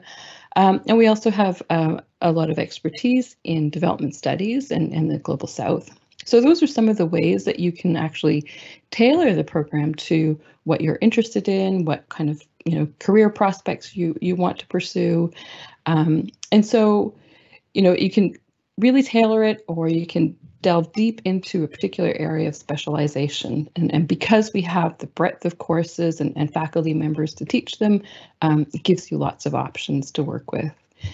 Um, and because we're in the nation's capital, we also have a lot of guest speakers and lectures from officials in government, from embassies, from international and national organizations that come onto campus, that come into the classrooms. Um, some of them some uh, often teach uh, some of our courses as well. Um, and a number of our courses include experiential opportunities, um, simulations, case studies, and even field trips. So for example, in our course on the Canadian Charter of Rights and Freedoms, um, students observe a live hearing at the Supreme Court. Um, in our global environmental politics class, students have the option of doing a three-day field trip um, out to Lake Temagami in Northern Ontario. So you can see the full range of courses that we offer and even have a look at some of the course syllabi for for those courses on our website and they're always there so you can just you know have a look at them um, download one or two and, and you'll get a sense of, of you know the, the topics the, the kind of work that you'll be doing the kind of questions that you'll be um, looking into um, and it, you'll get a, a much better feel for the program that way as well so over the course of the program, if you're an honor student, you'll take a total of nine credits in our department and an additional 11 credits as electives in other departments and faculties. In our three-year program, um, students will do six credits in political science and, um, and another seven as electives. In, in our program, honor students are also expected to be proficient in a language other than English. So if you don't already speak a second language, you can take language courses as part of your free, electives. Um, if you're going to specialize in Canadian politics, French has to be your second language. In all of the other areas, um, it, it, can be any other language that you choose. We also have opportunities for students to get credits um, for internships that you can do, um, as well as co-op. So we have a co-op stream in our program as well, um, all of which count towards your, your degree requirements. Um, I can talk a little bit about some of the first year courses, the core courses that um, all, all political science students take. In our first year, uh, we have uh, a course on dem democracy in theory and practice, um, and this course introduces students to basic uh, modern political ideas such as liberty, equality, the rule of law, uh, representation, political participation, and how these ideas play out and affect politics and policymaking in Canada, um, as well as other countries around the world. Uh, we also have an introduction to world politics course at the first year level, um, and this course looks at politics in countries and regions around the world, um, looking at historical trends and, and current issues, um, and you know you explore different types of political institutions and political cultures um, you look at global issues policies and politics as well as international relations between states um, between international organizations and and other actors. We have a couple of uh, first year courses that are um, sort of that span a number of different um, disciplinary areas as well as as uh, as as well as uh, fields so we have a course on technology, nature, and power. And this is a, a course that looks at how technologies like social media, self-driving cars, genetic manipulation, how these kinds of technologies have transformed the human experience um, as well as the natural world. So uh, the course focuses on technological changes and how they've interacted with the social and political order and how they've transformed our environment. Um, we have a, a course on the politics of migration, and this course introduces students to concepts and theories that help to understand and explain some of the complex patterns of, of migration that we see, including some of the social and political relevance of, of different types of migration and how they affect Canada, as well as other regions around the world, um, and, and the politics and, and the political responses to some of those trends. We also um, have three, uh, in the fall, we're going to have three first year seminars, which um, Dean Plourde mentioned earlier.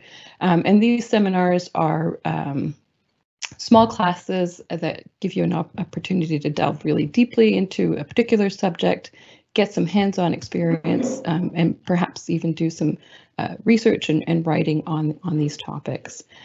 Um, I can talk a lot more about internships and co-op and, and experiential learning, but I'll leave that for the questions and, and I'll just stop here for now and see uh, what uh, you know what you're interested in exploring further. So thank you. Sure. Thank you for that amazing update. And, and before we let you go, I, I really want to try to get this uh, question in because the student says that they are uh, coming to Carleton for sure and that poli-sci is their dream program. So yay, there you go. And uh, and their question was about um, their experience volunteering in their uh, MP's office or member of parliament's office. Yes. And they wondered if that would count toward uh, an internship or, or a co-op experience or, or anything like that. So if you could briefly kind of mention uh, how that would play out within their degree. Yes, so we do have a lot of students um, that that either volunteer or do internships with um, with politicians on the Hill. So that is certainly possible. We have an, an internship um, credit that is part-time. It's, it's a part-time internship, so three to six hours a week while you're doing your other coursework. Um, and that's something that you can certainly sort of carve out a, a particular project that you'd work on um, in the internship uh, while you're actually doing your other coursework as well. There's also the opportunity to do full-time internships over a, a full term in the summertime or even in a regular um, academic term in the fall or winter. So those are things that that we definitely can ac uh, accommodate and and can also fit into the co-op. So perfect. Awesome. Well, thank you so much, Vanda, for that update. And again, folks, if you have any questions about political science, uh, please go ahead and ask them in the Q&A. Um, our next program is our uh, Bachelor of Arts degree majoring in law. So our law program will be uh, spotlighted now. And I'd like to ask Zaina to give us uh, an update on law. Thanks, Stanley. Um, thanks, everyone, for joining us. Um, so my name is Zaina Bouzed. I am one of the instructors at the Department of Law and Legal Studies. I'm also the undergraduate supervisor. Um, I teach mostly in second, third, and fourth year. It really depends on the year. Uh, so I'll probably meet you somewhere along the path of your degree. Um, I just want to spend a little bit of time talking about our program and uh, just telling you a little bit about it and your options. Um, part of my role as undergraduate supervisor is really thinking about your experience in the program, what benefits you, what courses you might be interested in taking, and also helping you think about your career planning, whether you plan to go to law school in the future um, or grad school, or maybe even want to join the workplace right after you finish your degree. So I'm always happy to chat about your career options. Our program, the Law and Legal Studies program, is an interdisciplinary program. It examines how the law shapes and is shaped by political, economic, social, and cultural forces. We are absolutely going to study what the law is. There's been a flurry of legislation out from government recently, so we're going to look at all the legislation, all the cases that are coming from the courts, but we want to push you to start to critically analyze and solve legal problems on your own. So we want you to think creatively about what the law should be, what the law should say. And we want you to start to draw your own conclusions. Um, and we want you to think about how you come at uh, problems uh, in the legal arena by looking at the other opinions out there and, and learning how to think around those points of view. When you join our department, you're going to be joining Canada's largest uh, law and legal studies program. We have we just celebrated our 50th anniversary a couple of years ago. And our approach to the law is a really diverse, unique approach to the law. And so you're going to meet over 35 faculty members with very different research, um, academic, and uh, work experiences. We offer about 70 courses each year, and again, that's by far the most course options that you're going to have in any law and legal studies program. Um, you have the options of taking a huge variety of courses. I'll just give you a few options uh, that might interest you. As for example, if you're interested in criminal law, we have courses on sentencing, policing, criminal justice reform, drugs and the state, uh, criminal jury trials, if your interest is more in the business law field, we've got courses on international trade regulation, banking law, regulation of corporate crime, intellectual property, employment and labor law. Uh, if you're interested in human rights, we have courses on equality and discrimination, immigration and refugee law, freedom of expression, the law of armed conflict, and of course we have another set of courses in many areas of law. So for example, constitutional law, environmental law, aboriginal justice, family law, health law. So again, we really do specialize in many of these areas. Every year we run a series of special topics courses that offer a unique opportunity to examine an area of law that we don't traditionally focus on. So for example, this year we had a course on ocean challenges and international law, another course on wrongful convictions. Uh, this year coming up, we're going to have a course on sports and the law, um, we offer three concentrations, uh, business law concentration, the law policy and government concentration, and transnational law and human rights. These concentrations give you an opportunity to really focus uh, a little bit more on the courses that you want to take related to that particular field. We have a co-op option with the business law concentration and the law policy and government concentration. And of course, uh, you have the option there of working in many organizations around Ottawa. Um, you've probably already heard about the international exchange opportunities, uh, but there are, I think now, over 175 partner institutions with Carleton. Uh, several of those are law schools, so many of our students have gone on to uh, do credits uh, at US, uh, UK, and um, uh, law schools in Australia in particular. Um, just recently, we signed an agreement with a law school in Brussels and so we're really excited about that opportunity because it gives students to also uh, complete an internship while they're there, which is a really unique uh, opportunity. There are opportunities for some of our fourth year students to work as research assistants for professors and help them do their own research and get course credit for that. There's an opportunity uh, for us to help our students with their publication of some of their fourth year papers. There are work placement opportunities as well, again, for our fourth year students to work in a law related field. Um, many of our students, uh, some that I supervised this year, worked at the various law firms around Ottawa. Uh, some of them also worked um, in uh, law enforcement. So one in particular was with the RCMP's uh, trafficking unit.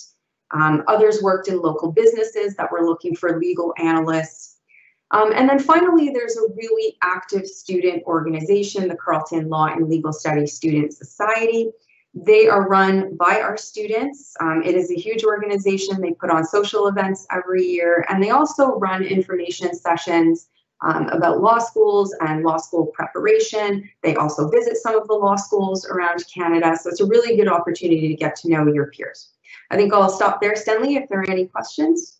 Yeah, there are. There are a couple of questions in here. So uh, first, there was a question about um, the number of law classes that a student would take in year one. So how many law courses are required in year one?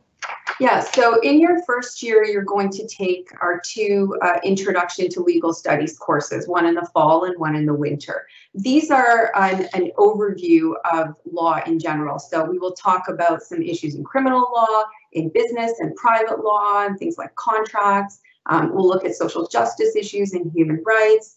Uh, we'll focus in on Aboriginal justice concerns. We'll do a little bit of legal theory, and we'll talk about the constitutional issues. So that'll be split up over the two uh, classes that you'll take in first year. And then another question that came up, I think, after they heard you speak of of all of the different areas that students can study in. Uh, the question was about uh, being able to tackle more than one. So can you pick uh, more than one area of law to study uh, throughout your degree? Yeah, absolutely. So you have the option of, of enrolling in one of these concentrations. So if you are really interested in business law and you know that's the area you want to focus in on, of course you can enroll in that concentration and that allows you to target those courses. Um, but for the majority of our students, they are not enrolled in a concentration. They prefer to do an overview of many areas of law. So once you enter third and fourth year, those options of what courses you can take really open up. So if you have some interest in business law, you can take that course. But if you want to look uh, at a course in environmental law, you can take those courses as well. So it's really open to you at that point to kind of pick and choose from the areas of law that you want to focus on. The program is very broad. Um, in the course offerings, but if you want to narrow it down to an area that interests you, you also have that option. Awesome. Great. Well, thank you, Zena, for that great update. And uh, again, folks, if there are more questions about our law program, we'll still be uh, able to answer those questions through the Q&A. So uh, please uh, uh, send those questions to us. Thanks, Um, everyone. Thank you. So our next area is going to be our Bachelor of Arts degree, majoring in European and Russian Studies. And I'd like to ask Jeff to uh, say a few words about this awesome program. Thanks, Den, and uh, thanks to all of you who are who have stuck around. I know it's been a, a really fascinating conversation with all these different programs. I'm really excited to follow upon them and uh, give you a sense of what our program is like and why you should really be fascinated by Europe and, and Russia. Uh, and I would follow my colleagues in saying that this is a a challenging time for all of us, but a really fascinating transition, and, and it's never been more pertinent to really understand things like the European Union and what's going to happen to it. Is it is it even going to survive um, this crisis? And certainly not in the form that it had. Uh, a few months ago, those of us who were looking at Russia were thinking of Putin running for our next and running indefinitely to be president until 2036. And now all of a sudden he's lost control, it seems, of the COVID crisis in the country. So there's just so many fascinating things to think about when you're looking at Europe and Russia. And for our bachelor's program, we have a standalone Bachelor of Arts and we have a stream in the Bachelor in Global, Global and International Studies. And really for both of them, the key to think about is these are really interdisciplinary programs. And they give you a sense to, to focus in on different areas that you want to look at. And that can be regional, if you're interested in Russia, you're interested in France, you're interested in Azerbaijan, Italy, Germany, um, the Balkans. Uh, you can look at the history of the region, politics, economics, culture, and we have courses that focus in both regionally um, and focus in as well thematically, anything from literature to transitional economics and these kinds of issues. And so really getting to know what's out there in terms of being in Ottawa for our capital advantage too, I think is critical to our program because we have so many fascinating connections to embassies, to um, government departments. And we have a number of students who go out to Global Affairs Canada, um, who go out to National Defence now, who are hiring a lot of our graduates. Uh, we also have events that are held in embassies, embassies who come to us. We have not only the co-op program, which a number of other units have talked about, but we have our own standalone internship program, which is actually built into a class. So you learn career building school skills. You can do internships in uh, NGOs, um, Red Cross International, International Organization for Migration, NGO called SecDev, which works on cybersecurity in Russia, uh, or basically protecting us from Russia in some different cases too. Um, you can look at government departments. Um, you can look at serving staff in an embassy. So it's really a, a fun program to think about all the opportunities, even as you're a student. And certainly even when you come in the first year or two, it's a cozy program. It's, it's fairly small. You get to know faculty very well. Uh, we have a nice um, space in the river building or Richcraft Hall, as it's called now, overlooks the river. Uh, you get a chance to hang out in our in our office space, talk to our professors. We're really fascinated to hear what you have to say. Uh, the study abroad programs is, is another really fascinating opportunity that you get. And of course, through Carleton International, you can go to St. Petersburg, you can go to Italy, to Germany, to France, England, all of these different kinds of regions. And with our uh, alumni connections, and it's a really nice thing about our, our unit because it's small, our alumni are very dedicated to our students and they love to help out. Uh, we're able to position people to truly, really find out who's living in these particular cities, who can help you out. A lot of our students work abroad in Europe and Russia. We've had students who've gone over there as journalists, um, gone over there to, to, they start by teaching a language. Uh, they start by um, just going and, and seeing what kind of opportunities are out there. They get involved in NGO work, um, humanitarian work. Uh, but a lot of our students will end up in Ottawa, in Global Affairs Canada, in National Defence. Many of them go on to law degrees. It's a great uh, degree to get a good interdisciplinary background to go into law or into master's programs and eventually into PhDs for some of you guys who are interested in continuing um, the academic track as well. But I'd say also it's just it's a program where you can have a lot of fun. It's it's a program where there's so many events going on on campus uh, in Ottawa, and we really make sure to connect students to alumni who they might be interested in. There's a real sense of communication and excitement among the students because they're finally here to do something that they love. And they might be the one weird kid in their high school class who loves Russia. Um, all of a sudden they get here and there's a whole bunch of other kids as well who are just fascinated. It could be culture, it could be literature, it could be politics. Uh, it's really something that brings a lot of students together and allows them to explore their passions. Um, I would say too that in in terms of the faculty, we have such a great variety of people who work on anything from migration history to um, pluralism and and how people get along in interethnic settings to um, agricultural economics. And really, I, I think you can come here and then discover what you like to do. And sometimes you don't really have a sense when you're coming out of high school. Um, you, you, have a vague idea that you like something about Europe. Maybe you traveled there, um, but you don't really know. And we'll have it. We'll, you'll, you'll get a chance to really explore all these different kinds of opportunities. And, and the last thing I would just say, uh, again, we're running we're running later. I could talk all day, but I'll just talk about languages because that's a really critical part of not just our program but in terms of getting employment skills, and also in terms of just getting to communicate with other people and getting to expand your knowledge of the world. So our program has language requirements both in the BGInS stream and in the BA stream, really pushes you out to learn a language from French to German, Italian, Russian. We'll give you assistance to do that. We have our own uh, alumni who come back and help to learn languages. Uh, and I think by the time you get out, if you come up with a language, you come up with these interdisciplinary skills, you really have a choice of different types of career paths that you can take from government to NGO, um, private sector consulting, risk management is another place that uh, a lot of our students are finding work in now. Uh, and then your, your, your pick of graduate programs, including our MA program as you continue on. Um, so the world is really open to you and, and whether you're fascinated by Europe and Russia in particular, or whether you want an inter interdisciplinary program that's sort of grounded in a region and you haven't really found your way yet.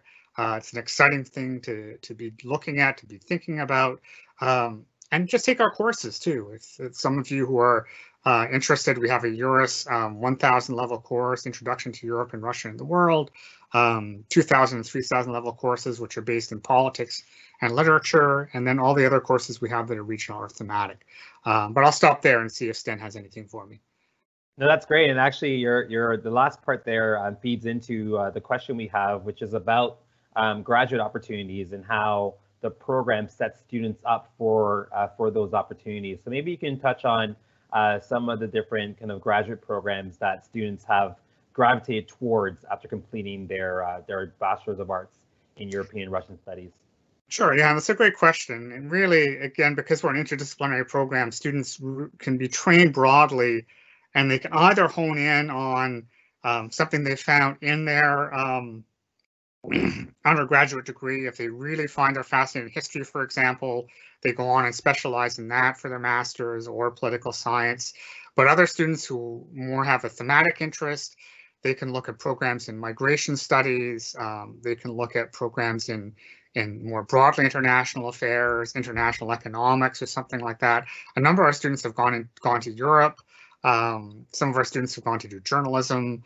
Uh, we also have our um, our own MA in European and Russian, European, Russian, and Eurasian Studies, it's called, uh, which is another great path too. So we really, um, when students get to their third year, just start to talk about talk to them about what they're thinking about, uh, not pressuring them in any way, but just saying, you know, these are some of the kinds of things our alumni do, and put them in touch with the alumni who have gone on to these MAs or gone on to the the PhDs or law school, the working world, and they get to get to chat with them, really think about what they're excited about. I mean, the first question I always ask students is really, what do you want to do? What is, really gets you excited? And then we'll we'll help them find an MA program that matches. Awesome. Now there was a question that came up about uh, double majoring. So this student uh, finds that uh, European Russian studies sounds really interesting, but they, they also have an interest in law. So um, what's the possibility of combining kind of those two areas or other areas uh, with European and Russian studies? Yeah, it's actually pretty frequent and exactly for the reason that, that you might think, right? Students have an interest in Europe and Russia as a region, but also have a particular disciplinary interest. So we've had students do double majors in EURUS and law, EURUS and political science, EURUS and history, um, EURUS and English. Um, so if they're interested in literature, um, and there's definitely a method to do that. And we have a really strong um, advising culture here. We really get students close to their faculty members and we can make sure they keep on track to, to really follow what they want to pursue. Perfect. So we'll leave it at that. Um, thank you, Jeff, for that awesome update. And uh, and folks, if you do have any questions for Jeff um, or for anyone uh, of the programs that you heard of today, um, please uh, do use the Q&A. We'll keep the Q&A open for the next few minutes. So definitely get your questions in um, at this time. So uh, thank you so much, Jeff, again for for that update. Thanks, Dan. All right, so we are now at the uh, the end of the live portion of today's event, and I got to tell you again, it was a really great time for for me to to look back and reminisce on the program that I came out of and the faculty that I graduated from um, and also to give you guys a glimpse into what your future is going to look like uh, on our campus uh, at our school uh, and in your specific uh, program of uh, interest. Um, now, our webinar series can will continue tomorrow. we're going to be touching base with our Faculty of Arts and Social Sciences, and you'll hear more about that by visiting our website, admissions.carleton.ca, and visit the CU at Home page. You'll also find information on other webinars that are going to be happening over the next couple of weeks. Uh, we have our uh, resource week happening next week. So we'll touch base with our financial aid uh, office, our student experience office, the Paul Menton Center, and, and other areas too. So definitely look out for that. And if there are any questions at all um, after today's session, uh, please uh, go onto our Instagram, our Twitter, our Facebook, and of course our admissions website, admissions.carleton.ca.